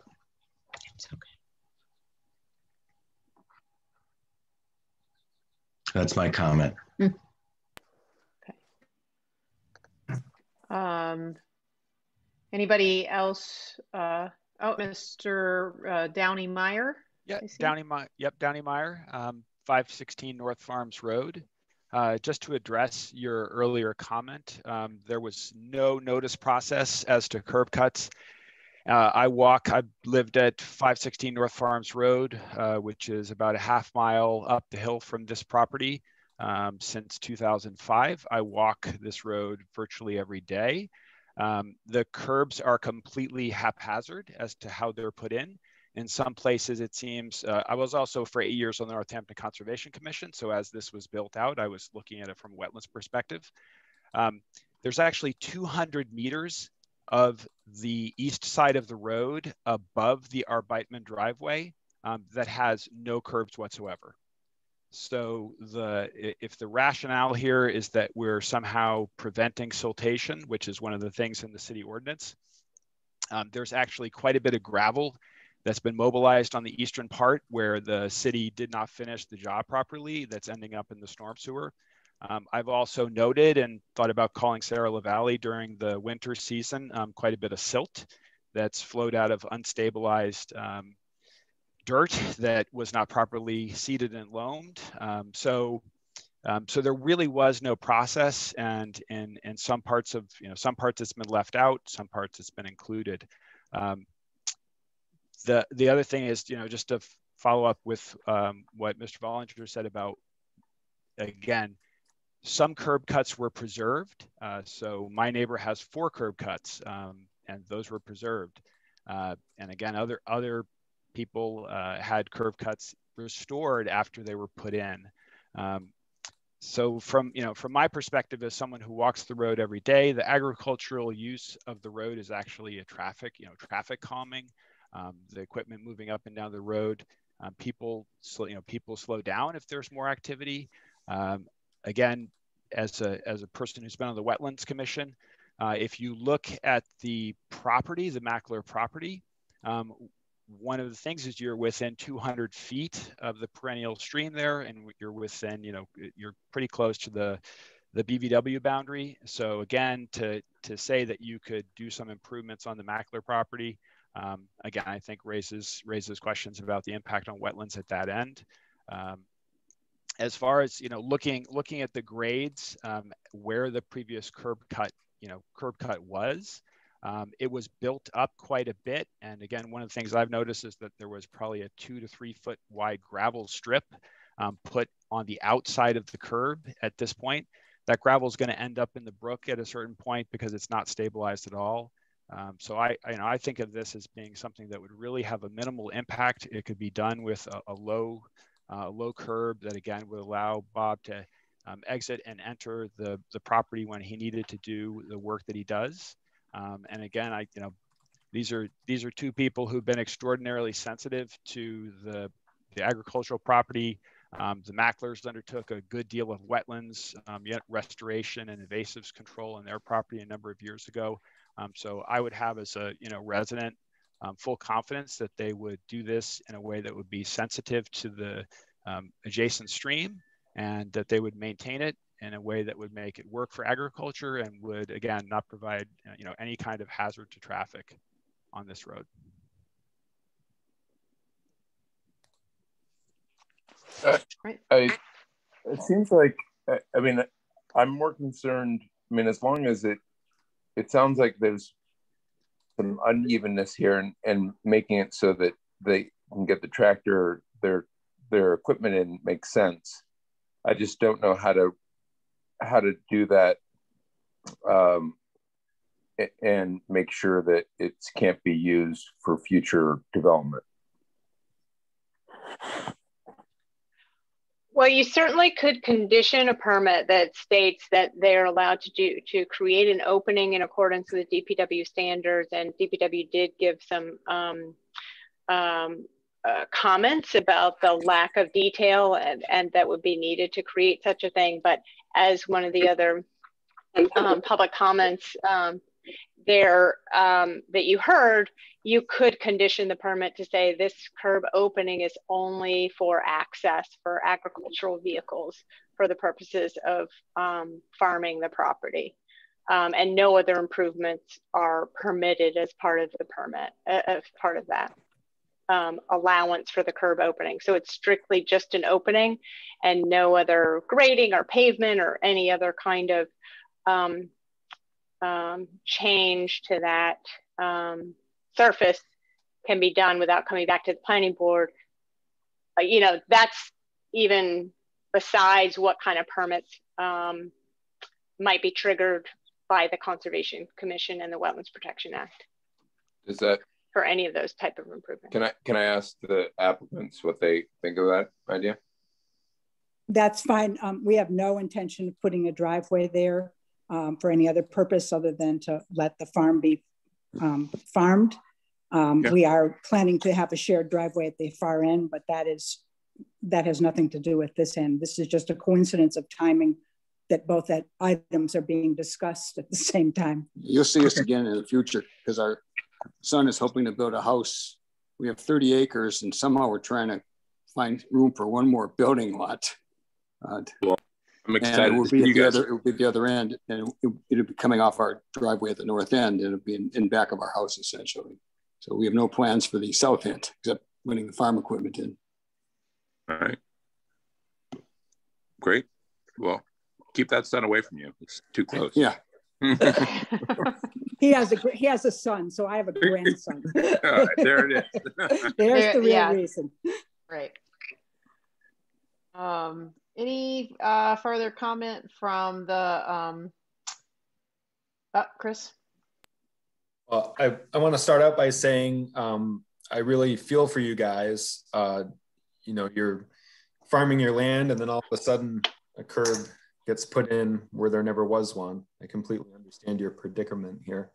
Um, I am having a little bit of trouble with the lack of detail. And in, so the one thing I'm worried about is um, they did put in the curb and there's a catch basin right there.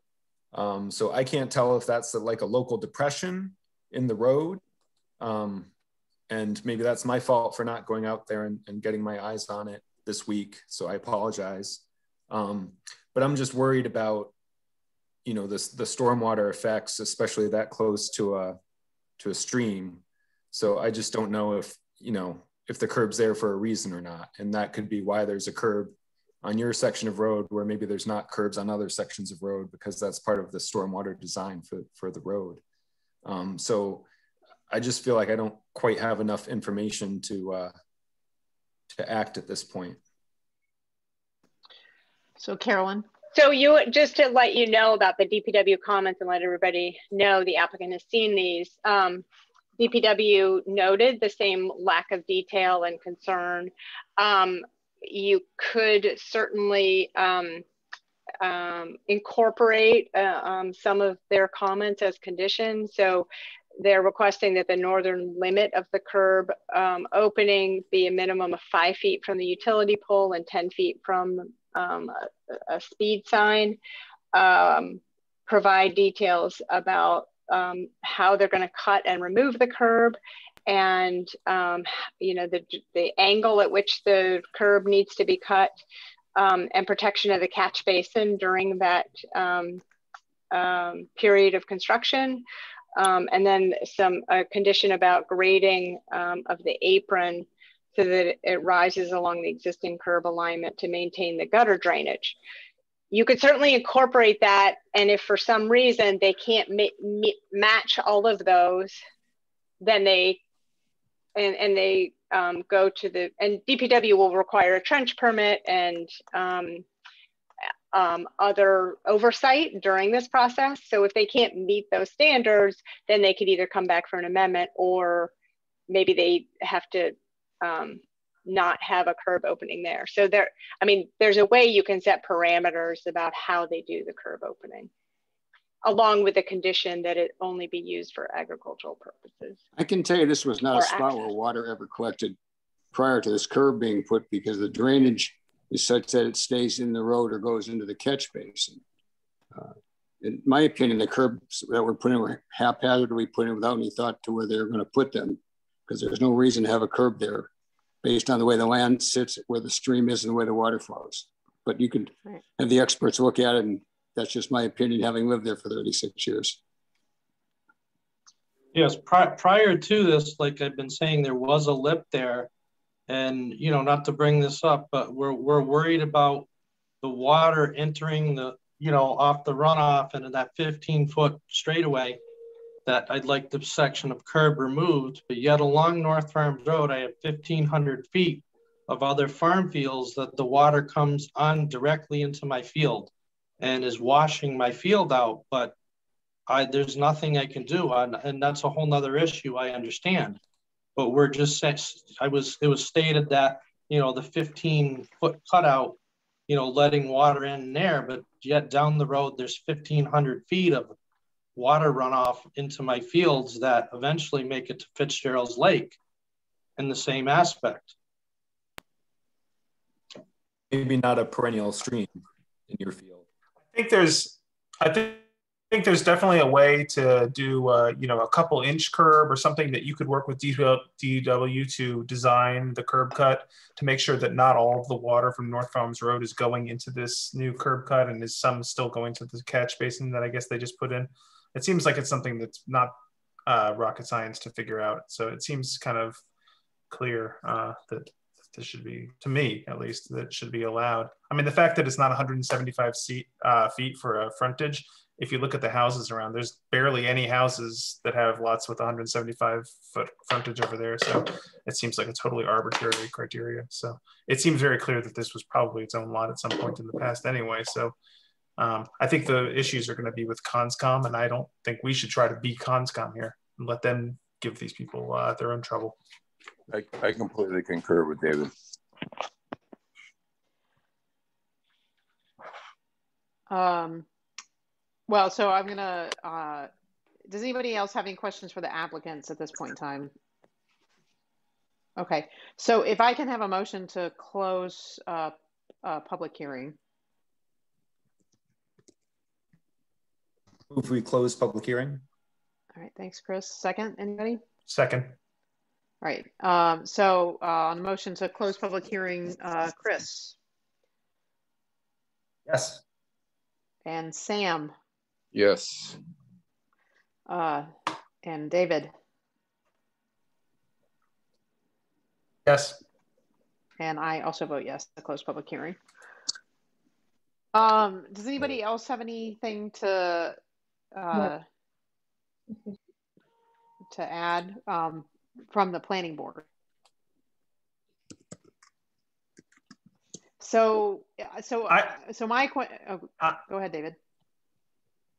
I'm sorry, I'm having a real lag here. So um, I I just think with regard to these conditions, um, it seems like there's so much wetlands issues around here that it's that's going to be the critical issue with what you can build here for any future thing. And and honestly, if you can honestly, if you could put a driveway here that goes to a house, they have 30 acres there. Why shouldn't they put a house? I don't understand why give them such a hassle about it. I mean, the wetlands issue needs to be figured out, but that's not our job. Yep. Um, so what are, uh, Carolyn, or, or is that part of public comment? You look like you have something to say, Carolyn, but maybe I'm, Oh no, I, yeah, I mean, the question before you is just the curb opening. Um, there is access for, there's no question that there's a path for another house lot, even though that's not in front of you right now. It's just the driveway for that house lot can't be located within 200 feet of the wetland. So driveway access has to be somewhere else. That's not part of the discussion now. It's really more about, um, you know, defining whether or not you think it's appropriate to have a curb opening here for agricultural purposes, as has been I, presented. I move I move to support uh, the allowance of a curb cut for agricultural reasons, to, and that they must uh, take into consideration the DPW's comments uh, for the creation of said curb cut.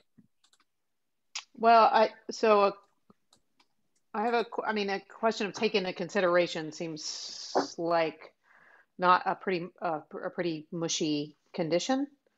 Uh, is there uh, something firmer that we can say about that?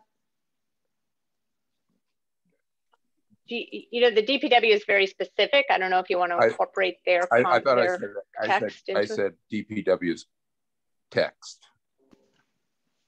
Okay, so make, make their, so not take into consideration, but to make their Yeah, thank you. comments, a, a, if we can phrase it Yeah. affirmatively Thanks, as, as a thanks, condition. lawyer. Okay. Thanks, lawyer. Thanks, lawyer. Yeah, lawyer. You know, it's what I do. It's, it's what I do.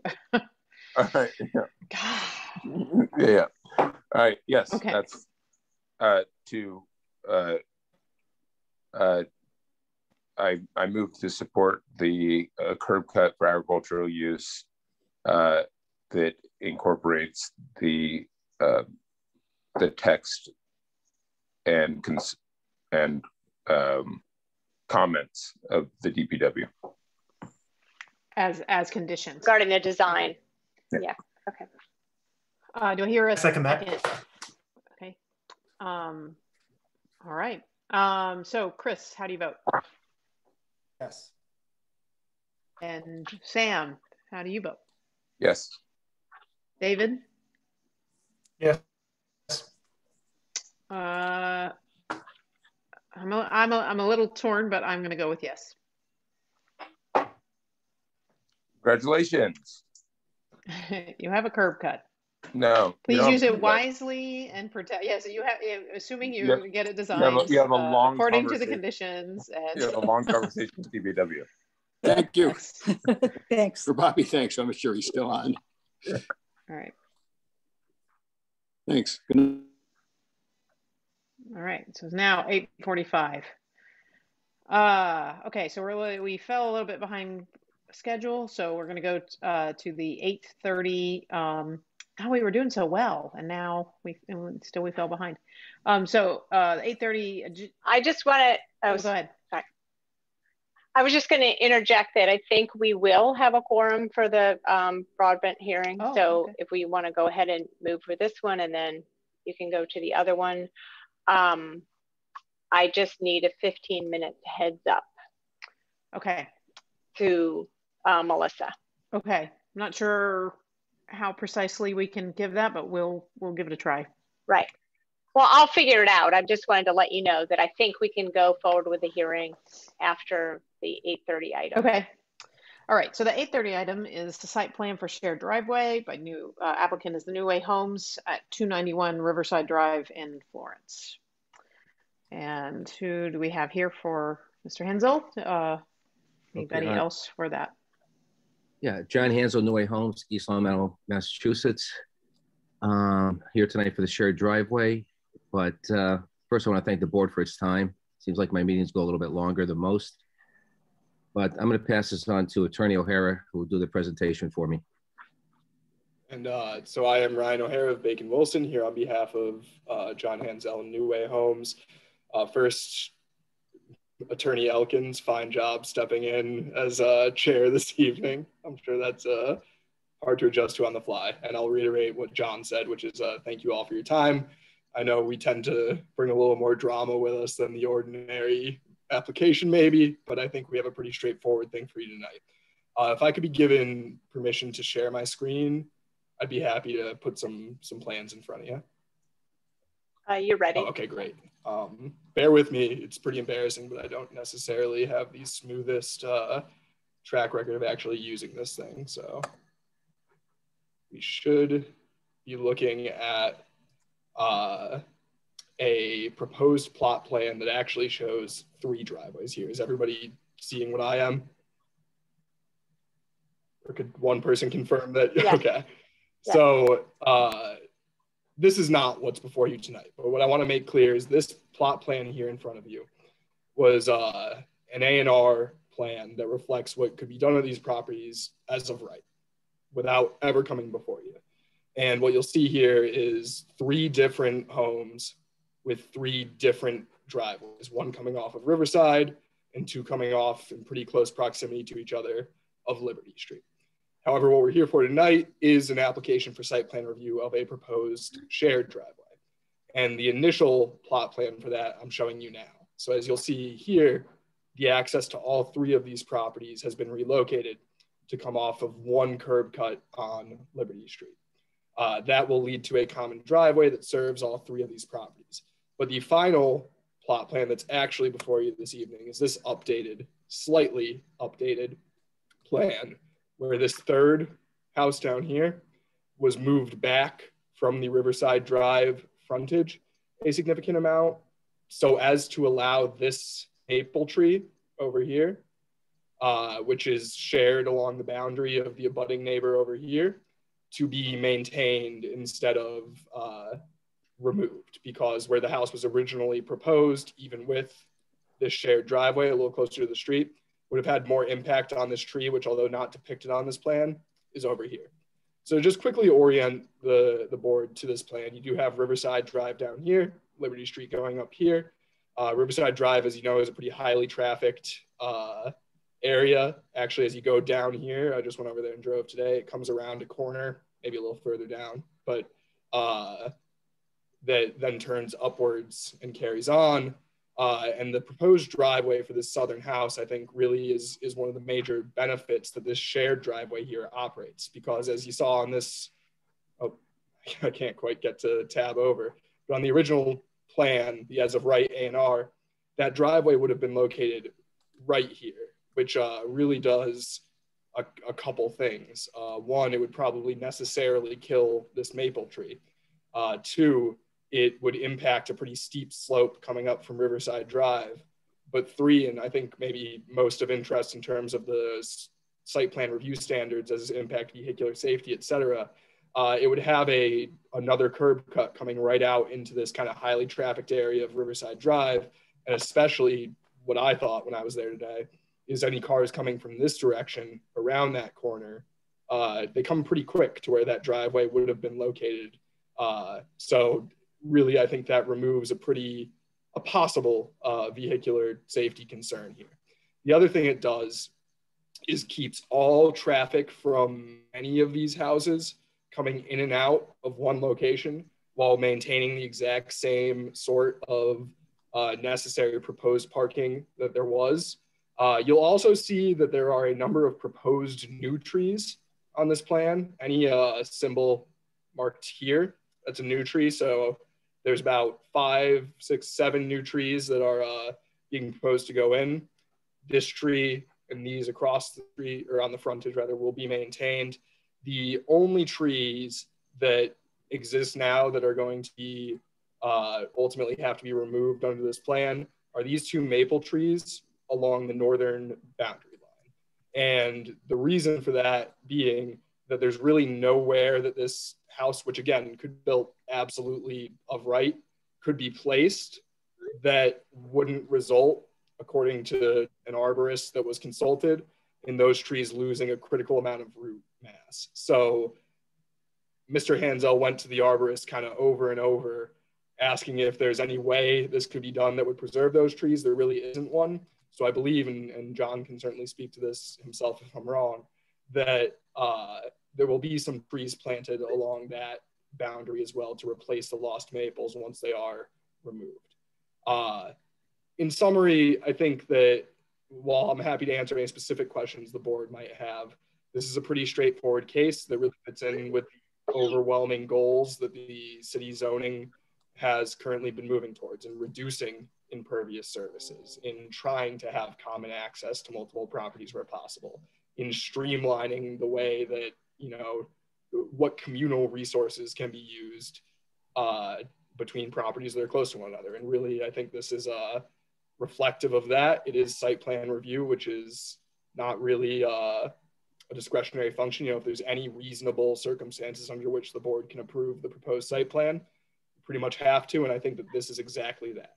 It addresses all these goals. It actually reduces the impact of a plan that otherwise could be done as of right this is a builder here who's coming and trying to do something that minimizes the impact of what otherwise would be as of right development. You know, this this hides in some ways driveways that otherwise would have been put right in the open. For instance, here, where there could have otherwise been a driveway, now there'll be some lawn, the existing tree will stay.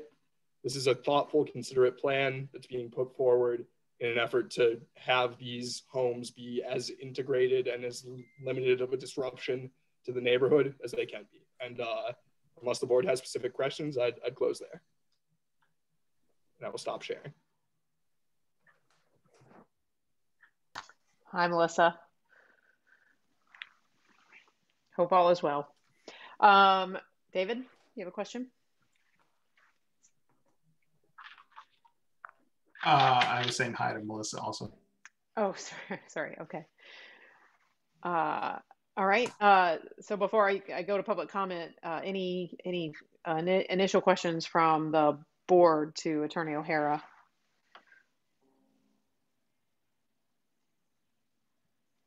Uh, I have a a boring technical question. Um, I hope I can answer it.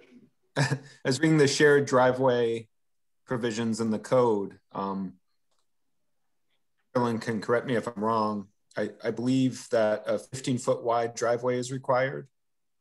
Um, and then with 20 feet for, for the full by access, and that should be 25 feet long. Um, I can't really tell because it's not dimensioned on the plan. Um, but from what I can tell, it looks like the driveway is less than 15 feet wide um, because the the easement itself for the driveway is 15 feet and the driveway is not as wide as the easement. So I was just wondering if you could confirm the, the driveway dimensions themselves. It's called out as 50, as 57 and a half feet on either side of the property line there. The easement does, but the extent of the pavement less than the easement lines. So that would lead me to believe that the extent of the pavement is less than 15 feet long. Admittedly, I'm zooming in uh, on this plan right now to try to do this calculation without a rule in front of me. I, I don't know that I can do it exactly. Uh, John, if you have any specific answer to this readily, given your familiarity with the plans, you're welcome to chime in here.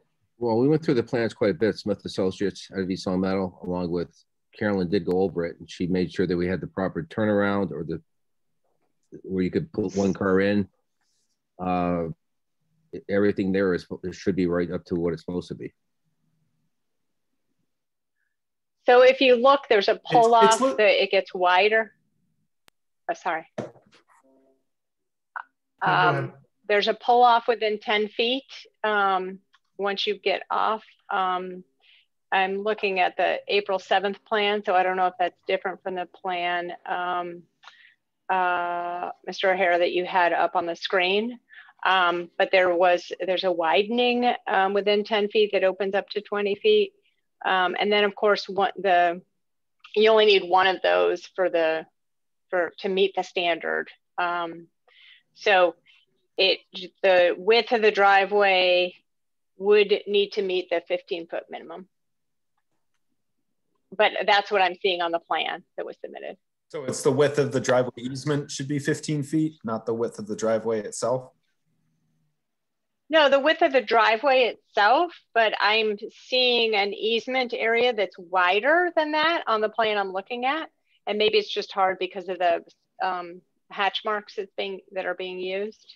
But I see a dashed line beyond the 15 foot width. But nevertheless, you know, it, it um, you can certainly require that final plans um, clarify that it meet, is meeting the standards. I mean, it's just you know, these are very technical and they either meet it or they don't meet it. So they, the, any applicant, you know, proposing a shared driveway would have to build it according to the zoning. You couldn't, um, I suppose you could grant a waiver, but the only way you could do narrower is if you were um, officially granting something less. Right. Like we, we can't sort of accidentally grant, uh, you know, because based on the, the plan being off right. or, or, right. or not. Right.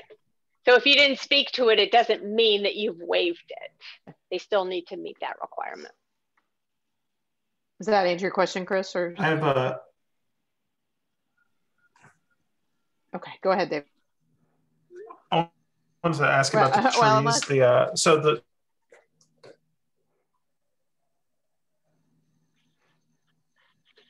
Sorry, I, it looked like Chris wasn't going to say anything, and then he was, and so. But are you good, Chris? Can you can you give me a thumbs up, or did you have another oh, follow up?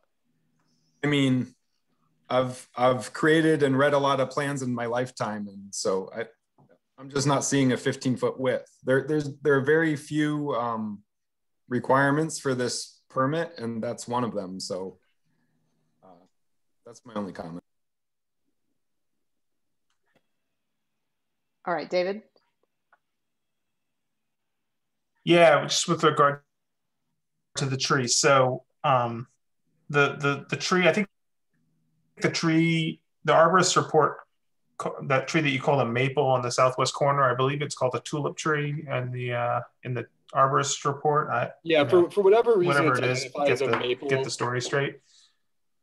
It's technically it's it, it's a tulip. The surveyor didn't know his no, he's yeah. It's, it's, it's, a, it's a tulip. Yeah. The surveyor doesn't know they're trees. Yeah. Correct. Yeah. So just yeah, maybe just have that you know um, clarified.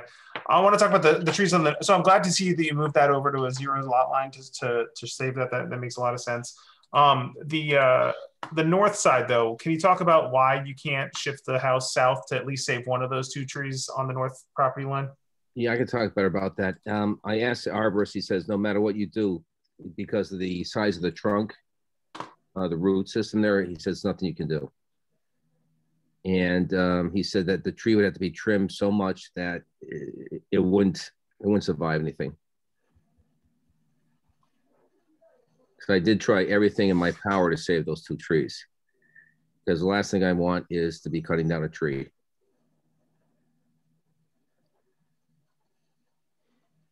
But again, I guess not to suggest that there's any desire to cut down trees, uh, Mr. Whitehill, but it, it is a tree that's entirely on this property and ind- I'm not I'm not asking about people's yeah. I'm not asking about people's like true heart and their love for trees. I don't care about that honestly. I just I think we need a little bit more evidence that like no, a plan yeah, showing so, like here's the maximum I can shift the house south and and show me why that's not enough to yeah. So, one, the point of them actually the wasn't a huge amount of space that you needed to add actually. I'm just the, trying to find the email right now that I, I, I did email my arborist today and I asked him, is there any possible way that I can move the house? And let me see if I can find it right now. Yeah, um, and, and while you're looking for that, John, the, the point I was looking to make, Mr. Whitehill, isn't about people's true intentions or anything. It's about what you're actually being asked to do here in approving the shared driveway and what could be done as of right. And even independent of developing houses here, somebody could go cut this tree down as of right. And putting the houses in as of right, this tree would have to go down. The driveway location is not what's driving the the treatment of this tree. It's just the point I was going to make, and I, John, I believe will supplement with that with that email. All right. Well, sure. I, I, would add, if I can, just briefly though. I mean, we we understand that. I mean, we we understand that that there are things that can be done of right. This hearing is also an opportunity where we, you know, hear from the community and hear from abutters, and if we can, it, it is it is one of the few opportunities to at least discuss some of the concerns, whether or not we are at a place where a property owner can do yeah. something just by right. So we we understand that. I you know just if you and I and we are well aware of the history of all this. Um, so yeah, it's just I, to I say, say, that the the requested relief isn't isn't what's causing it. That's all I, I meant to say. And after you said okay. the history of everything that's going on, trust me, I did everything in my power. I asked the arborist today if there was anything possible and he says, John, I don't think so. It's possible with a foundation, just not enough room. And if anything, I would have liked to save those trees because of all the noise I've been getting lately. I just don't need it. And I would have done just about anything to be able to save those. So, uh, like I said, I, I, I went through every hoop possible. And he said, there's no way. So, uh, any uh, other questions before I open it up to uh, public comment? Anything for the board for the applicants or the the applicant and and his uh, representative? Um, okay, so hearing uh, nothing, um, I will open it up to uh, public comment. If you could, if you would wish to speak, either hit your hand icon or um, turn your camera on, uh, you'll if you turn your camera on, you'll shift to the front of my page, and I won't have to look so hard um, for you. Um, you can so you can do the hand icon or turn your camera on and, and give me a wave. So that, do I see anybody?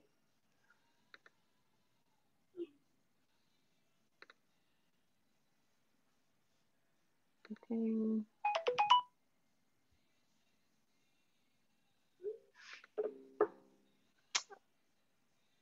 I, I'm not seeing any hand. Oh, there we go. Okay. I saw Jenna, and, then you disappeared. Jenna uh, uh, Lanterman. So if you can say your name and your address for the record, please. Oh, but you're muted, so you need to mute, unmute. You're right. I got one of the two. You can see my face. You can't hear my voice. Um, I'm Jenna Lanterman. I live at 283 Riverside Drive, so just across Liberty Street from this proposed shared driveway. And a couple of pieces of just local resident context I wanted to add. Um, I appreciate uh, Ryan O'Hara's uh, mention of the traffic that is Riverside Drive, and that does extend to Liberty Street. So I appreciate not wanting to put a driveway on Riverside, but people do turn onto Liberty Street and tear up it round the corner and hit the gas. Um, we've, you know, we have kids who play outside. It gets a little dicey sometimes. Um, and for whatever reason, the driveway that was, I think of it as Irene's, the driveway directly across from us, is also a turnaround. So daily, um, we work from home now. We look out the window all the time. Cars turn onto Liberty Street, turn around in that driveway to head back onto Riverside, perhaps because of the cutlery building and businesses, you know, people trying to find businesses located within it. Um, so I'm nervous about adding two houses worth of cars to that spot. And I just wanted to offer um, that context. And I would encourage, I mean, I know it's too late, but if you hadn't come and looked at the property, the, the canopy of trees is beautiful. I appreciate the attempt to save them. I wonder if a smaller house size might be a possibility um, for protecting the trees uh, a bit better. Thanks. All right, thank you. Uh, and see any other hands?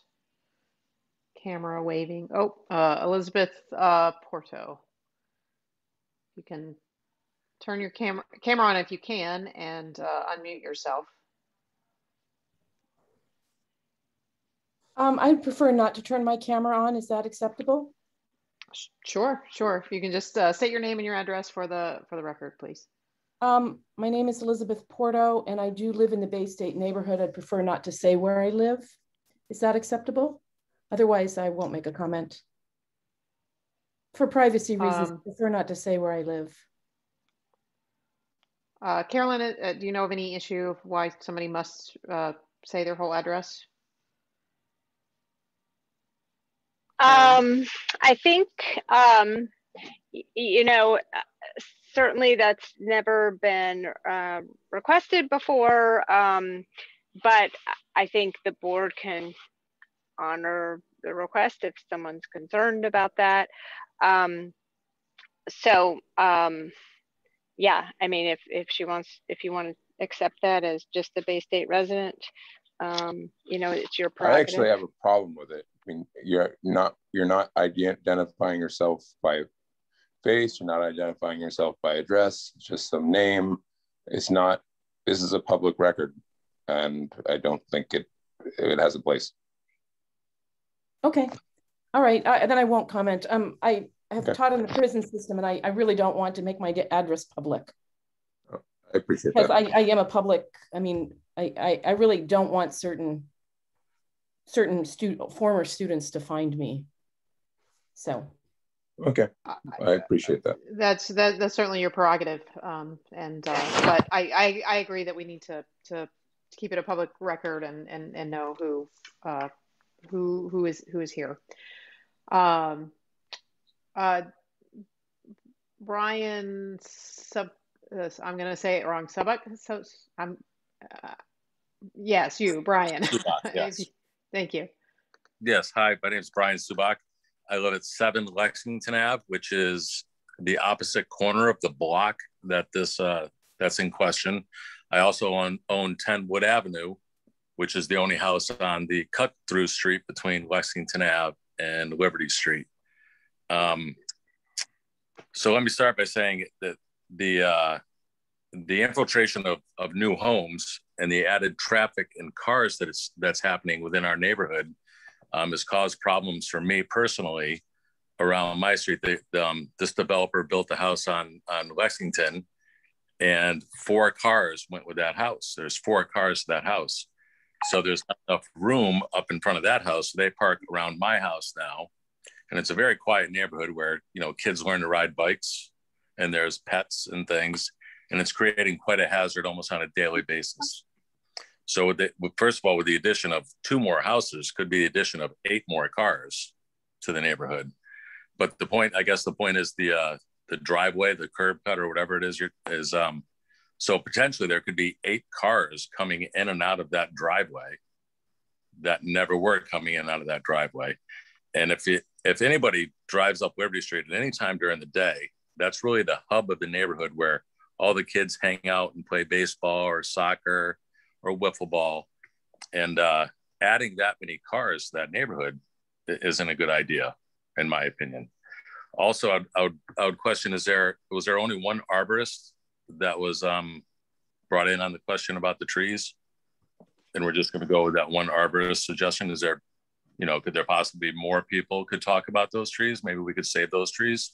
May I answer that? Um, I, I would um, just in, in the interest of you know a, a it's not the uh, that we we don't require applicants to well uh, we don't require applicants to have like second opinions and third opinions and and and things like that so i i don't i would just i would just leave it at that that that's not required by any uh, thing that uh, I understand about the application process. Even if, but could it be requested?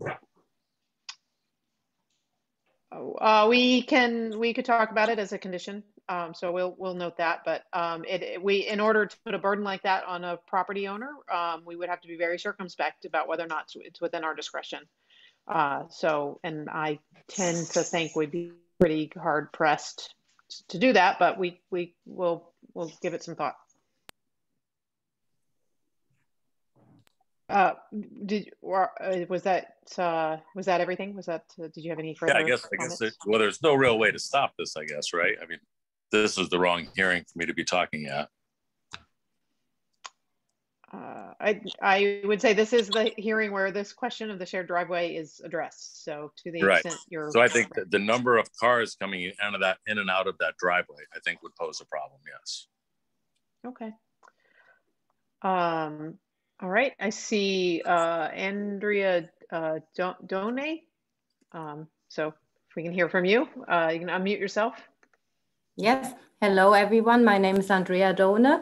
Um, I want to thank the committee. Oh, I live on 32 Liberty Street. I have some background noise right now. Sorry about that. Um, so I'm living on, uh, one moment. Thank you. Go to bed. Okay, you It's all okay, heard we, our we, we understand. you, you heard our bedtime trouble. Okay. Um, so I'm living currently on 32 Liberty Street. That's the corner lot um, with Wood Ave. So I live close to Brian and I also live close to Jenna and the lot we are talking. I used to live on 20, on 294 Riverside Drive, just across um, that brick house. So I know therefore a lot about the water table and the water problems we have. And my concern is due to not only the development um, on 291, but also to the development on Lexington that Brian referred to, and even further down, like to um, Warner Street. There's a lot of new big development and thus sealing of surfaces happening. And with that big driveway plus the big new houses, I'm very concerned about the water di displacement. Um, I think we will occur a lot of new drainage trouble that's not only affecting the neighbors, but also the city as they have to repair more sidewalks and more streets. We just noticed that a new sinkhole is opening on Wood Ave. We had a sinkhole open last year and the DPW had to come and fix it in some way, but now it's opening up just a few inches away from where they repaired it. I haven't reported it yet. Um, so I'm concerned about what, what a big development in general does on that lot. I'm also concerned about all those cars mentioned. Typically, there are families moving in that kind of houses, so they have for sure two big cars, and I don't see them all fit on that lot. And I'm concerned uh, with everyone else about safety on our street for pedestrians and especially the kids. There also used to be um, a school bus stop right there at the corner. Um, and the last point I'm concerned about are the trees. And um, I also wonder, um, every owner has the right to do what they want with their lot, but I wonder um, there's a solution how the trees could be safe, and that is really adapting the plan and not building as proposed. Thank you for your time. I appreciate it very much. Right, very good. Thank you very much. Um, before I uh, recognize, uh, I realized I not being not the pro that our usual uh, chair is. I, I forgot to mention if you could uh, uh, be uh, be mindful of not repeating um, same the same points raised by other people um, that have already been raised, and keeping comment as as best as you can limited to the question that is before us, which is approval of this shared driveway. Um, I meant to, uh, I meant at the beginning to in, impose a, a two minute uh, time limit at the beginning of this. Given that I haven't, uh, I'm, I'm not going to start now, but I will ask that people uh, be mindful of the time. We, I will keep an eye on the clock, and and if uh, uh, I, I will do I will do my best to not uh, cut people off, but if if points are being raised that that have been been addressed and heard and uh, are repetitive, um, I, I will go ahead and step in for for time. We are, after all, a volunteer a volunteer board. um, so uh, with that, uh, I can see if I can see any other hands. Uh, I think I saw a flash of uh, uh, Ian Gaida. That is correct. Um, my name is Ian Gaida. I live at 337 Riverside. Um, I will keep my comments brief, uh, but I echo the concerns of my neighbors. Um, that that street is is full of children all day long. Um, it is, you know, the neighborhood is already uh, surrounded by by a lot of traffic and and adding up to eight more cars on this shared driveway. Um, it, it, it will be a burden to the neighborhood. Um, similarly, I'm very concerned about the drainage and the trees. Um, if anything can be done to save these uh, very, very old maple trees, uh, well over 200 years old, which really make the neighborhood what it is and, and uh, deliver a lot of sustainability goals with, with cooling of houses, with uh, absorption of water, uh, and so forth, um, you know, that would be uh, of peak importance to me. thank you for your time. Thank you. Uh, anybody? Uh, Emma L, if you could give us your, oh, you know what, actually, can you hold that for just a minute? Um, Ian, did you say your, uh, your, your full name and address? I, I didn't hear. Yep, sorry, uh, 337 Riverside Drive.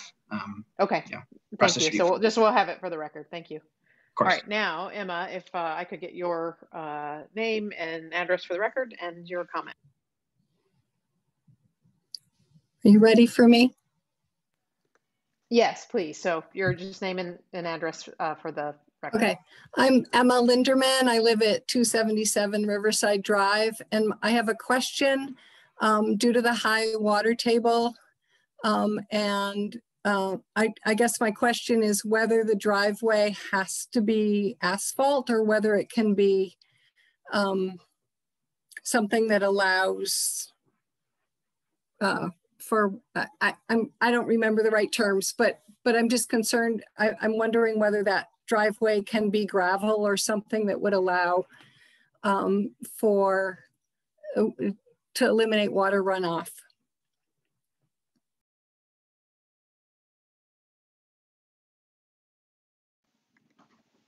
Right. Um, thank you. I was listening to all of that. I had to put the dog out as I listened, multitasking.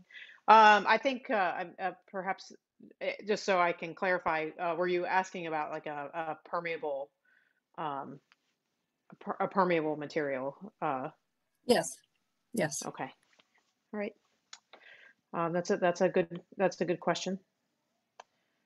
Um, and uh, and and perhaps and we will circle back uh, after public comment uh, to ask about that. Um, uh, other comment?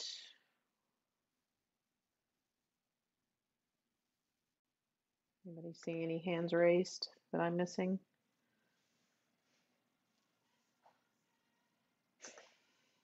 All right, so I, I am not seeing other uh, other comments.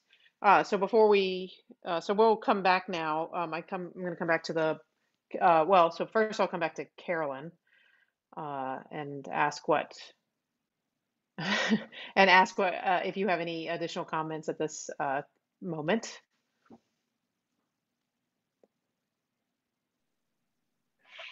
Um, no, there were, so um, I'm just gonna pull up, um, um, you know, there were some comments about drainage from DPW. Um, um, about um, you know that issue about additional runoff coming from the expanded driveway keep in mind the driveway's in the same location as the existing driveway it's slightly um, longer than the driveway plus the garage i think by about 20 feet mm -hmm.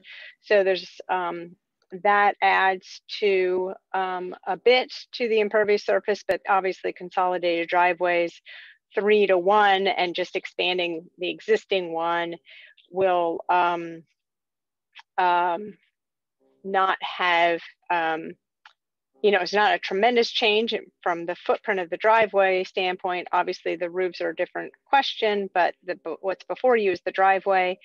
Um, in terms of the materials used, uh, there an applicant can certainly create a, a trap rock gravel driveway or some other surface, but that's not necessarily considered more permeable um, because the infiltration rates uh, for compacted gravel are very close to uh, what an asphalt driveway would be or a cement concrete driveway would be. Um, there are ways to, um, you know, address drainage. Um, the applicant could, for example, direct roof runoff into dry wells from the homes to make sure that that sort of captures additional runoff that might um, um, otherwise drain onto the driveway and then into the street um, for the northerly structure. Um, but um, otherwise, when comparing it to individual driveways, um, you know, a shared driveway has much smaller footprint. Okay. Um, uh, so one last call for, for public comment and, and I'm gonna circle back to the board to make sure they don't have, okay, uh, Mr. Niete? Uh, I, I don't, there, there you yeah, go. No worries. I've lived my whole life with people not pronouncing my name correctly, so it's no problem. I am sorry though. Tatishe Nteta. Uh, I live at 14 Liberty Street and we uh, abut the new project. Um, and so thank you to the board um, for uh, having this meeting. Thank you to Mr. Henzel for providing um, all of the information about the plans for the new development. And we echo the comments of a number of our neighbors regarding the potential impact that this new development will have on the traffic in our neighborhood, our concerns about uh, safety, not only for kids, but for, for all the folks that live in this neighborhood. Um, concerns about the water table as well. Um, one of the things that we as abutters are very concerned about are the health and the safety of the trees. And I commend Mr. Hansel for hiring an arborist to attempt to maintain, as people have said, the beautiful canopy of trees that are that are along our uh, the border of our two homes. Um, in the tree report, they really focus their attention on the sugar maples that are uh, right at the beginning of our driveway and of um, would border with the new home. But there are other, there are two other very large, um, I don't know if they're sugar maples, but I think they're maple trees uh, along the same border that is that are on Mr. Henzel's property. Um, and there was not really much discussion in the tree report regarding those two properties. And I assume that's because the foundation for the new home will not touch the roots for those properties. But looking at the plan, excuse me, the trees um, for the will not touch the new property. But looking at the plan that was introduced today, it seemed as if there was a garage right near where those two trees are going to be. So would the placement of the garage disrupt those two trees? Because those two trees are, although they're on Mr. Hansel's property, a very large portion of them hang over our property. So that's one of the, the concerns that we have. Again, we want to just reiterate, it'd be, I think the preference of everyone in this neighborhood to maintain those trees, but it sounds as if, given the plans that Mr. Hensel has, has um, intended, that it doesn't seem that those trees could be saved. But if a second opinion can be garnered, I, I would be supportive of that to see exactly there's anything that can be done to save those trees and to achieve the goals that Mr. Hensel would like.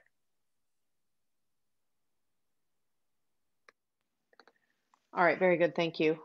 Um, all right, I'm gonna make uh, a, a speak now forever hold, you know, show me a hand now. Um, or forever hold your peace. Um, and the last call to the board uh, if you have any questions before we, um, to the applicants, just before we close. Okay, so hearing. I was wondering if Mr. Hansel uh, could address that question about the two trees. Um, I have the tree report if you want me to share my screen just so we can look at them. Uh, yeah. Mr. Mr. Tate, are you talking about the two trees that uh, Mr. Nteta just talked about uh, near the garage? just to be clear on what we're talking about. That's what I want clarification on what trees we're talking about. If Chris has the, if Chris has it up and can we share, let Chris share a screen so?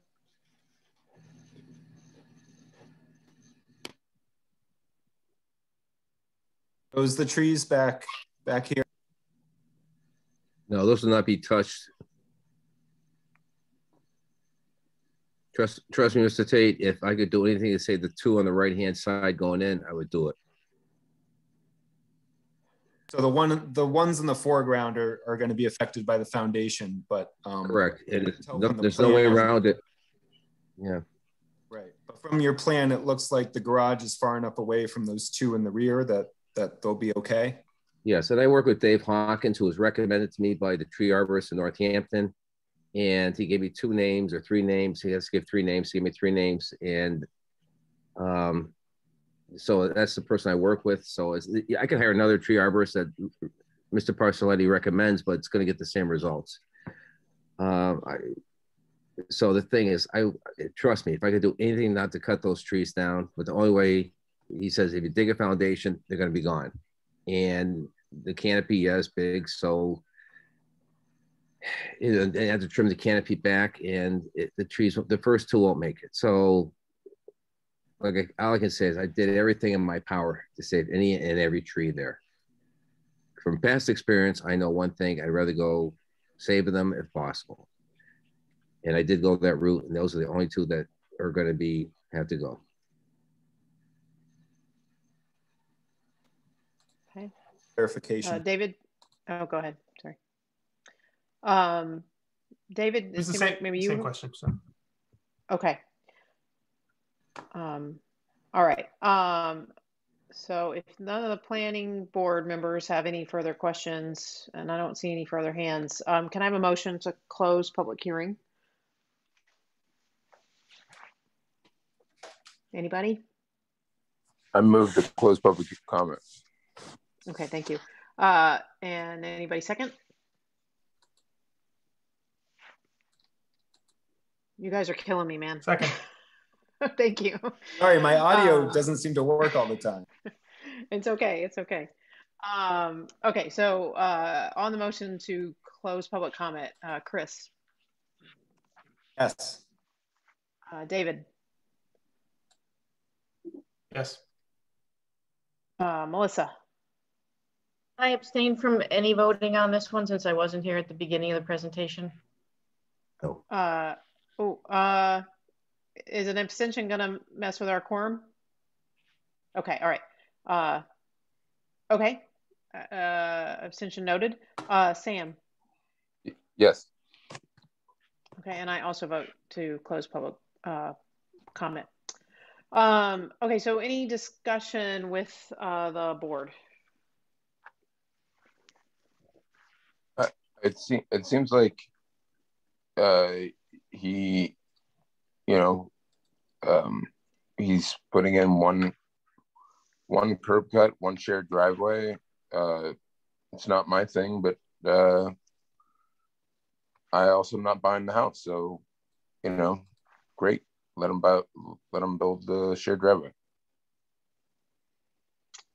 Um, I will say that I did, I have gone and, and looked at the property and, uh, and the parcels and I think one shared driveway is a lot overall less asphalt, um, or concrete or whatever material that gets used than, than would be to have three.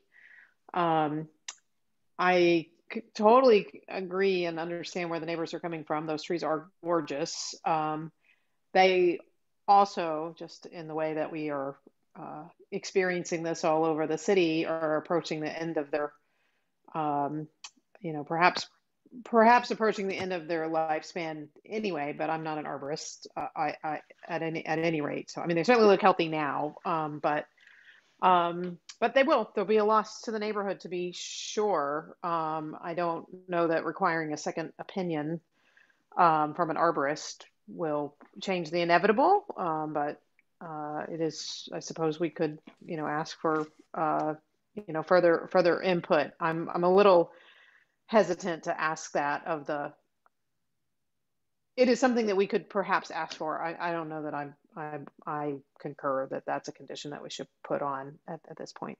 Um, uh, so over, overall, I, I, and I, and as far as the traffic goes, if, if the houses are going to be there anyway, and the cars are going to be there anyway, um, I, I actually think a set, a one shared driveway is much safer, and especially not on Riverside Drive is much safer than, than to have three or four where there, where there could just be one.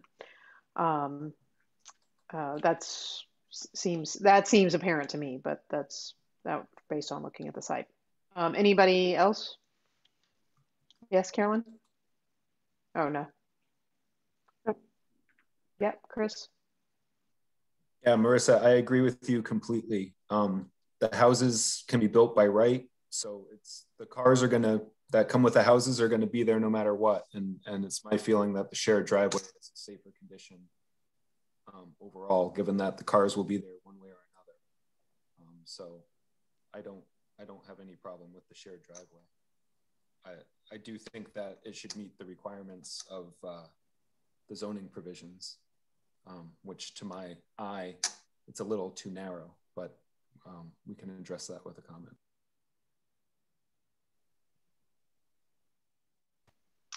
Uh, any any other uh, comments? Uh, so go go ahead, Carolyn.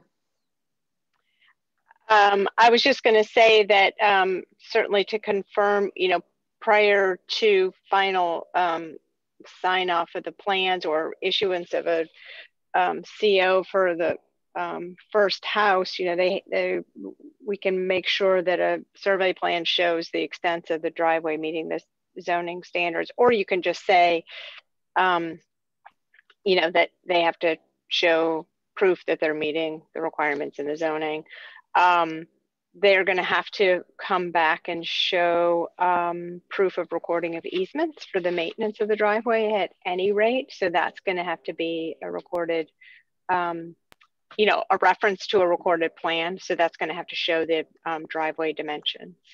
Um, so I, I, think there's definitely uh, places that can be um, where that can be checked. Um, I'd like to. Um, yes, David. With regard to the, I'm, I'm, with regard to the house on the southwest side, um, I don't know how how exactly this would work, but I, would like the arborist to give specific guidelines on how the air spading, like the dimension, like the radius around the the, the trunk, et cetera, for air spading to make sure that that uh, tulip poplar uh, remains healthy even with the shifted house. Um, so if there's any way that the arborist, I don't think you need to go find another arborist, but if you can, is there a way that an updated arborist report, given the new location of the house, could be submitted to to Carolyn and just before the the permit is issued? Can we make that? I don't know how you say that in, in less well, words than I just did. Well, sure. I mean, typically in other permits, you've issued conditions where the arborist has to oversee tree protection measures as initially recommended in the arborist report. So you can require that before um, construction on that site begins, that um, there's a report from the arborist indicating that in this case it's Dave Hawkins, so he has overseen um, the protective um, measures that will uh, are identified in his report and show that those have been done. Fine. I just, I'd like a revised report to be in the record. That's all I mean. You mean is showing the um, shifted house location? Yeah, just the arborist take on the dimension of air spading and et cetera for the tulip poplar with the shifted house. Exactly. Okay. Can we also add in those two other trees at the rear of the property? Because those weren't mentioned at all in the tree report. They were just kind of shown in the background. I don't know the foundation of the. There's no protection needed though. They're they're far enough away. I have no idea. They're not shown on the plan. Um, so yes, you can also um, require as part of that condition that tree protection for those trees on the far western um, property line um, are installed. Because even if they are, I mean, during, you know, construction can be messy. And if it's not specifically identified on, a, on site, um, contractors may decide to store stuff over there that's, you know, because it's an easy out of the way place. So that would certainly help um, ensure that that area is sort of just walled off. Surcharging all the foundation fill on the root system of those trees isn't going to do them any favors. Right. Okay. Um, so why the note that I made of that is that uh, is a condition of having the ar- an arborist oversee the tree protection for the poplar tulip and the two trees on the uh, the back. Uh, there's probably a more specific way to say that, and to demonstrate uh, compliance um, and have a, a, with with a with a plan uh, on file with the application. Is that does that sound right, Carolyn? Um, so compliance with uh, with the standards, or you with the tree? Are you with talking about just tree protection? Tree protection, yeah. Oh, okay. Yeah. So I think um, just consistent. Um, so uh, consistent with the arborist report with the um, adjusted location of the house foundation.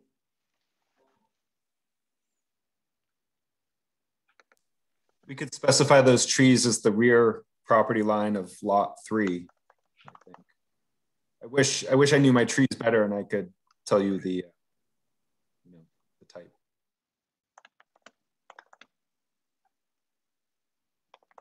Okay. Um, I'm gonna I'm gonna ho hope Carolyn gets a. I'm gonna uh, give this a, a try um, in terms of the conditions, but I, I trust Carolyn will help us clean it up. Um, any further suggestions or thoughts uh, from the board or questions? Um, so uh, what I what I have so in the um, in the staff report, uh, the proposed conditions in the staff report are prior to any site work, the applicant shall install. Well, so this is kind of incorporated into what we just said.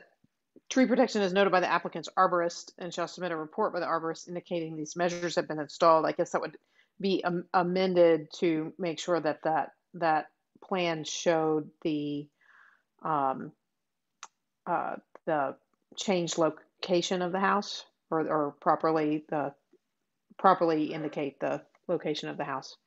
Um, and Prior to selling the first lot, the applicant shall show proof of uh, recording of easements for the maintenance of the driveway at the Register of Deeds. Prior to issuance of the uh, CO on the first lot, the applicant shall show compliance with the tree replacement requirements for the trees over 20 inches uh, that have been removed.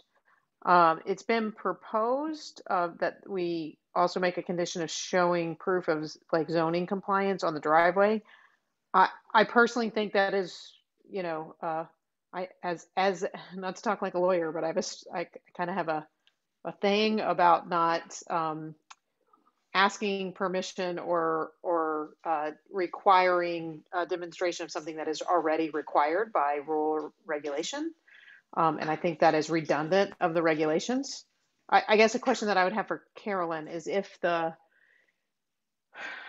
you know if we get to the end of this and they've poured they've poured the the the driveway and it is a few feet short of, of how wide it's supposed to be. Like what's the remedy then? Do we make them go back and do it? Like what's the yeah they have to comply. So they would have to the building commissioner would, would issue a violation of uh, based on the zoning and they'd have to correct it. Okay.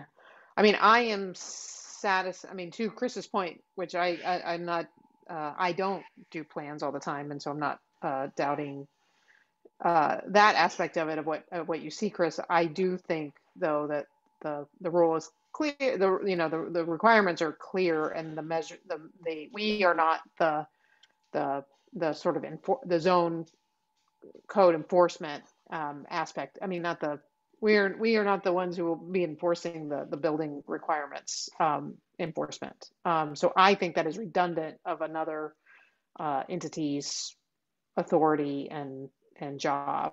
But but I mean, if people want to make it a condition, we can. Could we make a um, condition of a, a, revised plan at, at some point that just shows dimensions of the driveway? Because I think if they dimension the driveway, it would come. Yeah, I mean, 13 or 14 feet. You, you could try, you could you could submit, um, you could require a pre-submittal um, final plan showing the relocation of the house and the dimension driveway meeting the zoning. I'm okay with seeing it with the recorded um, easement plan, but I, I just, I feel like the plans that we see need to have more information on them. I mean, if we're not seeing where the trees are, we're not seeing the dimension, there's, there's very few requirements for, for this uh, special permit. And so it's just hard not to have those, those dimensions on the plan.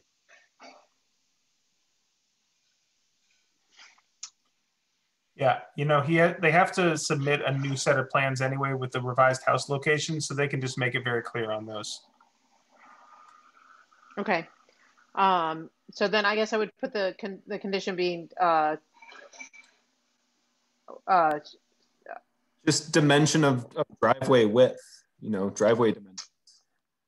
Well, I think, or the, the, the, the, is, is to file a revised plan that shows, you know, you know, all of the, with, with the, uh, you know, the different location of the house. And we can say to do it with the easement, uh, with the, you know, with the easement plan.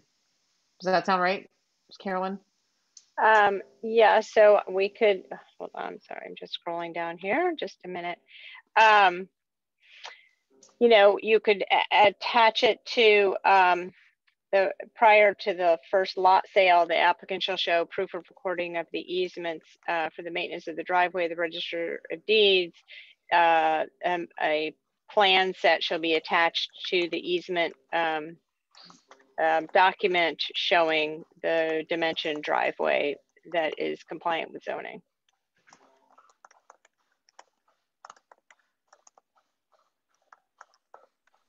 Thank you. I'm not a complicated guy. No, it's it's fine. It's I'm I'm not um uh I there's certainly nothing uh, wrong with that. And you know, it's helpful frankly, it's probably more helpful to those of us who are not the plan designers and people to to have a little clearer plans and more accurate plans to begin with. Um, uh, uh, so, um, okay. Um, so do I have, uh, if there are no other comments, if I can have a motion to, uh, if I can have a motion to uh, uh, approve with the conditions that we laid out, which I uh, we can. We probably don't want me to read it out. I don't know if we want uh, Carolyn to read it out, but if uh, but if I can have the motion, we can, um, for the record, sort out exactly what those conditions are. I'd like to make a motion to approve the permit for a shared driveway with conditions uh, to be outlined by Carolyn right now. uh, do you want to get a second for that before I do it? Uh, well, how will they know what they're seconding? Uh, but yes, that's fine. to discuss. second. second. Okay. All right. Um, so then as part of the discussion, what I have is prior to any site work, the applicant shall install tree protection as noted by the applicant's arborist and shall submit a report by the arborist indicating the measures have been installed. The report shall um, um, identify the protection measures for the tulip poplar and the two trees along the western property line with adjusted location for uh, the house. Prior to selling the first lot, the applicant shall show proof of recording of easements for the maintenance of the driveway at the registry of deeds. Uh, easement shall be recorded with a plan showing location of the lots and dimension driveway. Prior to issuance of a certificate of occupancy on the first lot, the applicant shall show compliance with tree replacement requirements for the all for the two trees over 20 inches DBH that have been removed. Um, all right, so we've had that moved and seconded and the conditions absolutely clarified for the record. So with that, I will uh, take the vote. Uh, so Chris, how do you vote? Yes. Uh, David? Yes. Uh, Melissa is abstaining. Uh, Sam. Yes. uh, and I also vote yes. All right. Um, all right. That was a good discussion. Um, so I think that is everything except for that we need to very quickly uh, approve the minutes. We have minutes from March 11th. Uh, we're March going back to the we're going back to the other permit. Oh God, right. Shoot. I mean, delighted.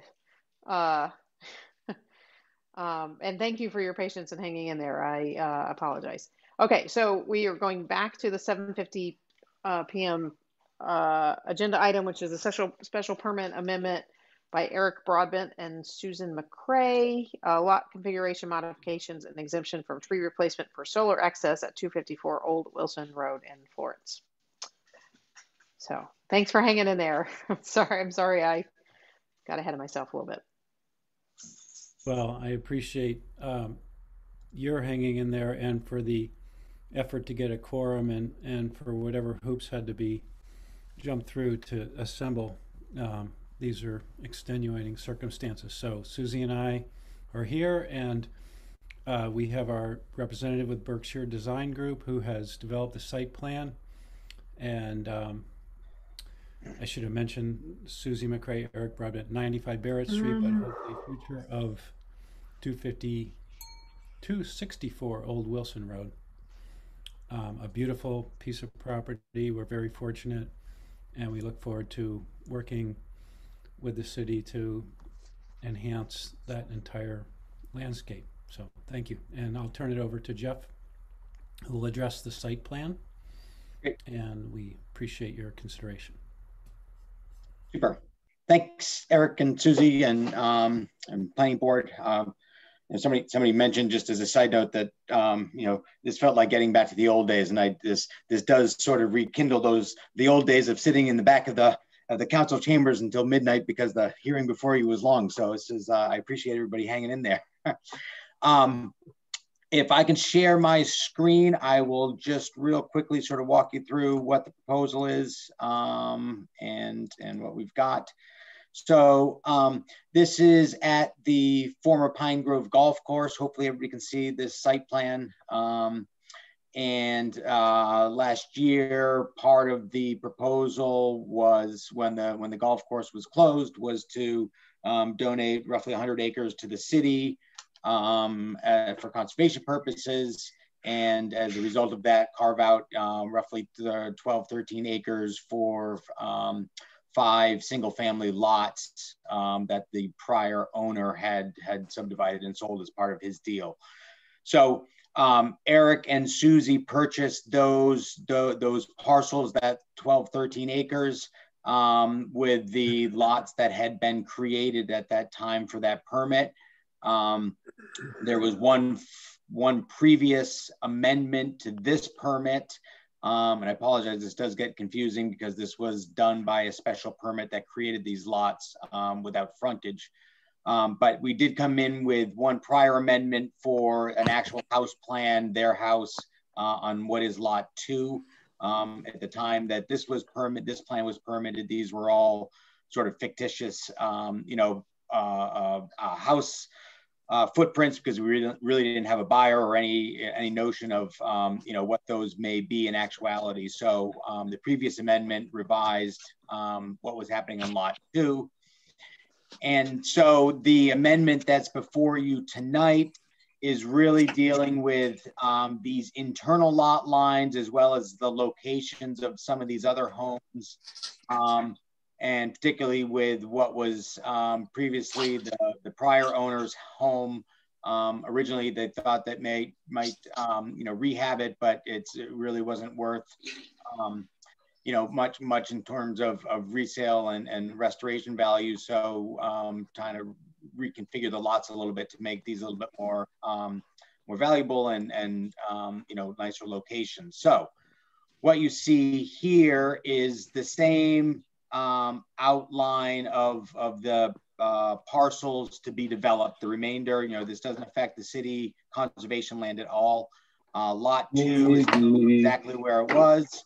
Um, the one difference that you'll see relative to property lines is previously the lot two, lot three division was, was you know, upwards in, in this location.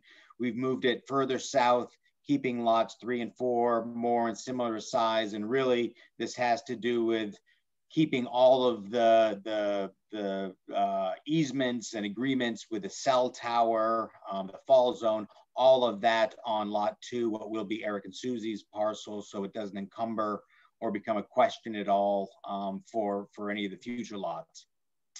Um, the other thing this does, again, like I mentioned, up up um, along Old Wilson Road, where where the former house was, um, because that house is now gone, it creates an opportunity to really build houses on the northerly property line, which is which looks out over the old fairways and is really you know where the most desirable locations are.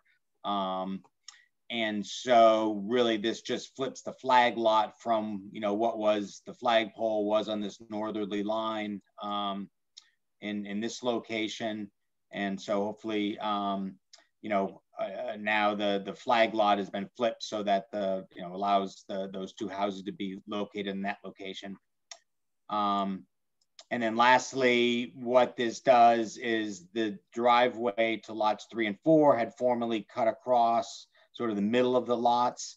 Um, we're proposing to bring them bring them down to the lower elevation where um, again just it's it's flatter it's it's a more conducive area on the site we have uh, valid perks for both those lots and there's much nicer views um, and much less disruptive to sort of this middle hillside that's that's pretty heavily wooded. So um, there was, um, as part of this um, request or this amendment, we are requesting a waiver for a number of trees that are being removed for solar purposes.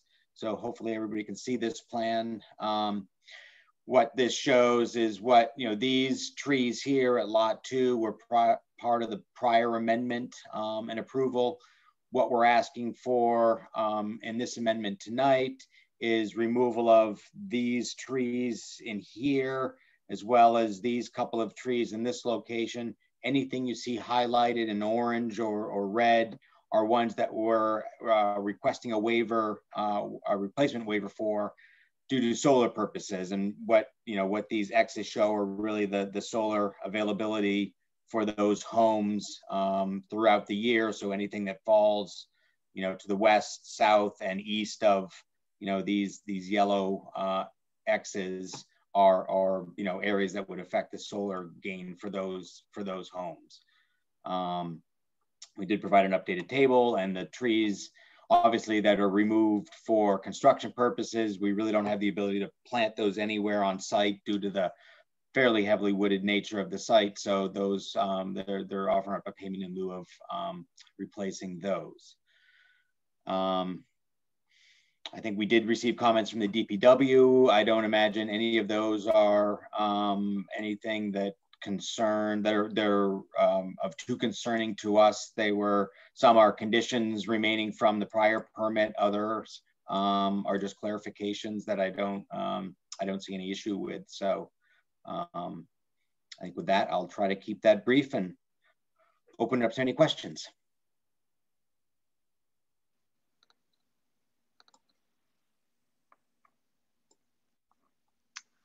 Anyone on the uh, planning board have any questions? I have, I have a couple, Jeff. Um, is there is there an easement for the driveway to the new flag lot that's that's cutting through the other lot? Yeah, so there's there's there's going to be a homeowners agreement that you know deals with all the easements. All of those, a lot of those are already in place, um, and there are certainly other documents that um, you know are going to affect um, or impact all you know all five lots. So most of those documents, and and Eric and Susie may be able to speak better to it, but I think a lot of those are at least in draft format, if not final format. So it will deal with all those cross easements, utilities, um, access, maintenance, all of those things. And uh, generally, I don't know if I'm allowed to ask this, but it might it might lead to my next question. Um, so are all of these houses kind of in some sort of agreement to be purchased at this point? Like, are these the final locations and sizes and everything? We hope so. I, I think the, these are certainly a lot further along than was what was shown in the in the original permit. You know, th- there is an actual buyer now. There are actual, um, you know, um, buyers for some of these lots that are that are looking at them um, with with house footprints that are being considered. So I think this is certainly a lot more developed than it was originally. I can't say that you know some of these won't change, but I think you know we've certainly gone through this process enough to to feel pretty good about these locations. And um, again, I've I've been a little bit conservative with some of these footprints in the event that that some of them get a little bit smaller actually. So I'll just add, um, we have engaged uh, Wright Builders as the site development uh, contractor, and they um, have emphasized uh, net zero, and that in, hence wise has um, determined the scope of clearing in, on the further away lots, um, and they have clients that they've spoken with and we don't have anything under agreement, but we believe this, these are the viable sites for homes with the minimal impact. Um, and that, that is under their advisement and also Jeff and Berkshire Design. So it's, it's a lot more reasonable and we're, you know, we're trying to move the site development work forward, which is why it, thank you for having a quorum because it's a, its timing is important. Um, so thank you. And Eric, you're you're you're um, getting to point, which is uh, my my recollection from the last hearing is that um, these waivers for the for the tree replacement requirements are somewhat predicated on the solar access for net zero homes, as well as the open space. Is that correct, Carolyn? That's right. So the board can consider a waiver from um, full tree replacement um, for the purposes of providing open space and uh, net zero energy homes. There's some other elements, but they have to be at least those um, two components um, or, um, you know, affordable housing is another mechanism or um, avenue that could be provided to, to meet that standard.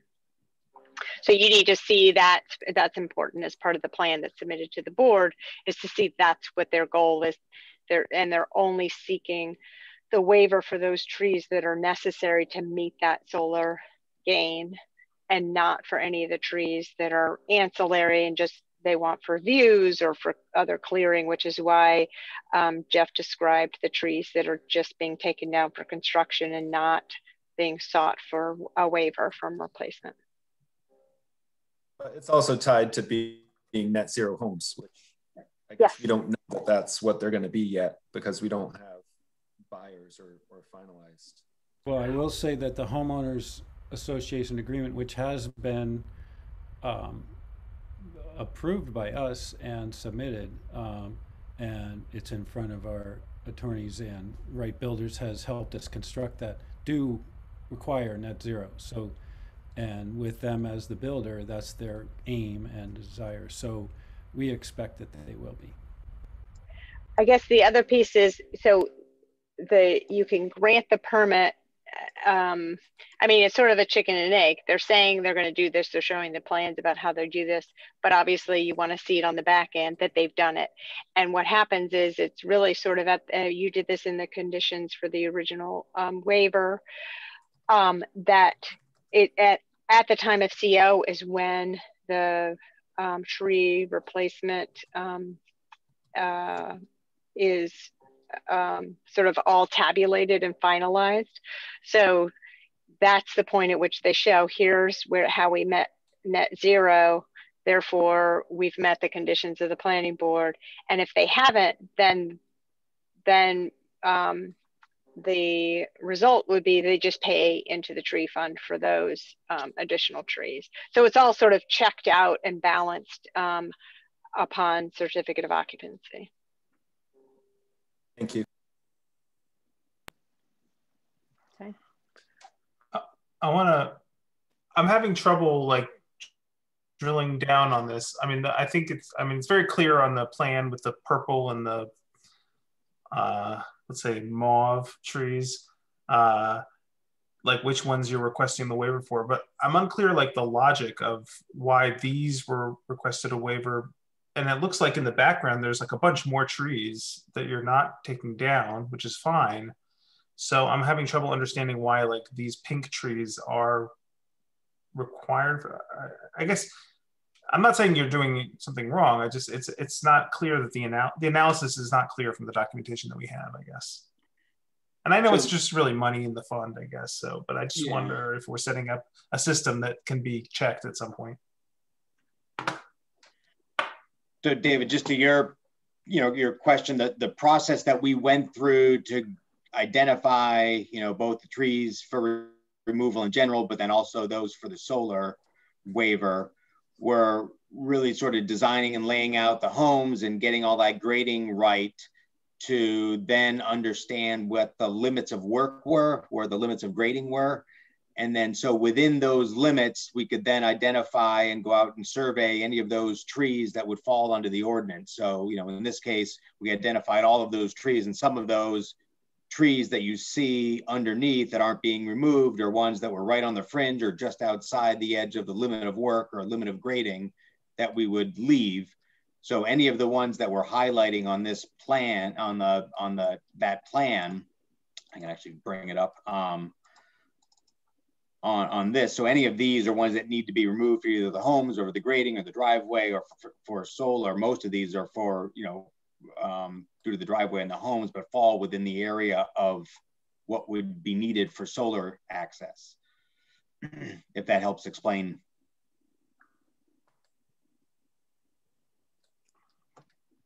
Yeah, I mean, is the logic.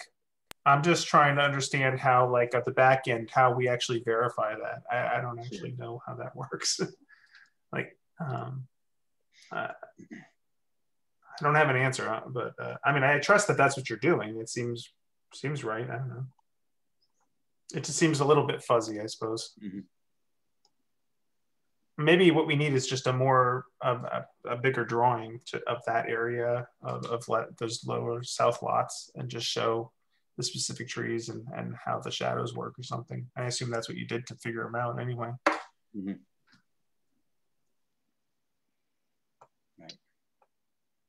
Um, all right, uh, so we'll, we'll come back to the board uh, in just a moment, but uh, is there anybody here from the public that has any comments?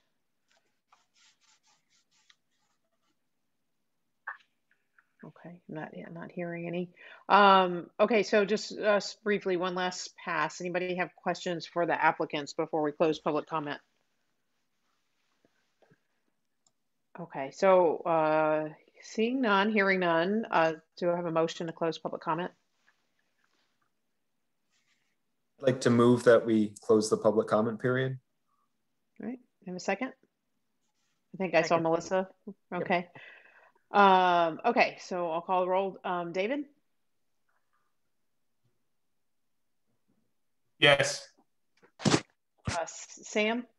Yes. Chris? Yes. And Melissa? Yes. And I as well, yes. Okay, so uh, public comment is closed. Um, we have further discussion from the board? Okay. Um, uh, okay, so um, with that said, any further comment from Carolyn or from the board or anybody at all?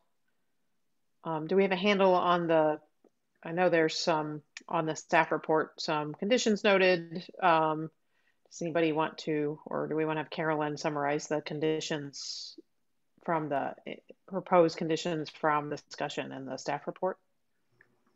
Sure, I can do that. Um, so this relate, these relate to the comments you were just um, describing and discussing that um, the, um, at the time of the building permit application, they should the applicant shall provide the information um, that the new houses, excuse me, will meet the net, net zero energy standards. Um, and uh, oops, I, I think that also that prior, we should, there should be a condition about um, prior to issuance of the final CO that those have been actually been built to um, meet the net zero energy standards.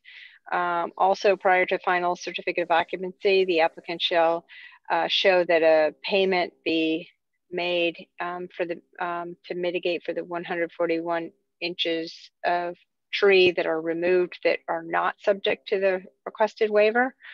Um, and just to sort of wrap it all up that all other conditions from the original permit still stand. This isn't a replacement permit, but it's just sort of an added permit. um, and I think um, I think that that um, is what I have and that addresses your comments. But um, obviously, if that isn't, then feel free to add. Does anybody feel like that? There's anything they'd add, Chris? The only the only thing is, um, I don't know if it's our responsibility or not, but just to protect the the homeowners. It sounds like there's going to be a homeowners association. I just want to make sure that the driveway for that flag lot. True. There's yep. we're protecting that buyer that they can that they're allowed to access their driveway. Um, right. So you can add another condition. That's a good point um, that you raised. That um, prior to um, actually, I think probably before building permit can, should be before building permit's issued for the either of those lots, one or two um, oops, I'm not sure if that's how they're labeled. Um, the flag lot and the original house lot um, that um, cross access easements are granted for um, the driveway um, that uh, for the flag lot. Thank you. This is an easement. There's a collection of easements, and that has been noted. Um, okay, so um, if that if that uh, marks all the conditions that that uh, would be proposed, do I have uh, here a motion to um, approve this? Um, what is it? It's, it's a site plan uh, amendment, actually, right? Special permit. Um, Special permit. Special permit. Sorry, um, with the conditions just noted by uh, Carolyn.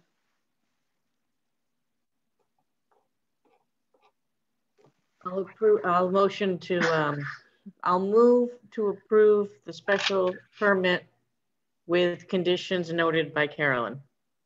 All right, thank you, thank you. Uh, do we have a second? I'll second. Okay, thank you. Uh, sorry, just getting late. I, I don't, I didn't mean to react. um, uh, so I shall call the roll. Uh, David. Yes. Sam. Yes. Uh, Chris. Yes. And Melissa. Yes. And I also vote uh, yes. There. Very good. Well, you know, when we meet in person again, we can like throw, you know, paper clips at each other to, you know, wake up. when quoruming everyone. Yes. Yeah. No. Thank you very much. Thank Melissa, you, everyone, for for coming in. Um, good luck with your project. It looks like it looks like a nice project, and uh, going to be beautiful homes. So uh, good luck with that. Anything. Um, Thank you.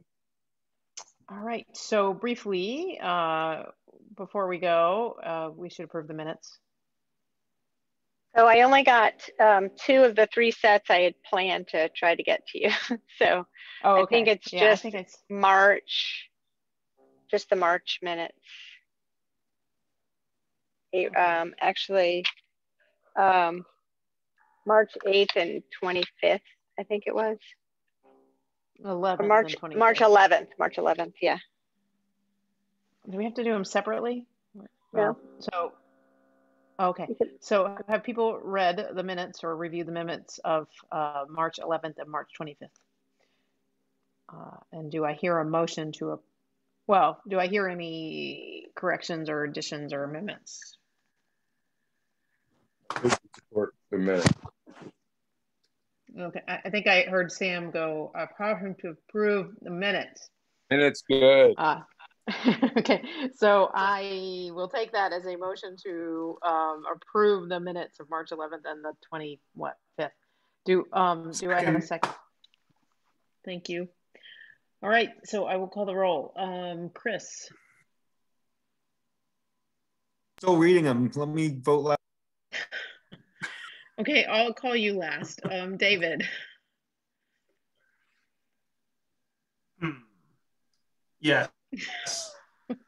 Sam, Yes. uh, Chris, the speed reader. Yes. That was a thumbs up. Uh, go with the yes. But And now I have also- read them, so I can say yeah. Okay, very good. It's very diligent of you. Um, and I also vote yes. And let it be done. Uh, yes, Carolyn? Like you were Nope, that's all I have. I move to close the meeting. We have a motion to adjourn. Do I have a second? Second. I have a Second. So I shall again call the roll. Chris, Yes. David, Yes. Sam, Yes. and I also vote to adjourn the meeting. So, well, that was fun, y'all.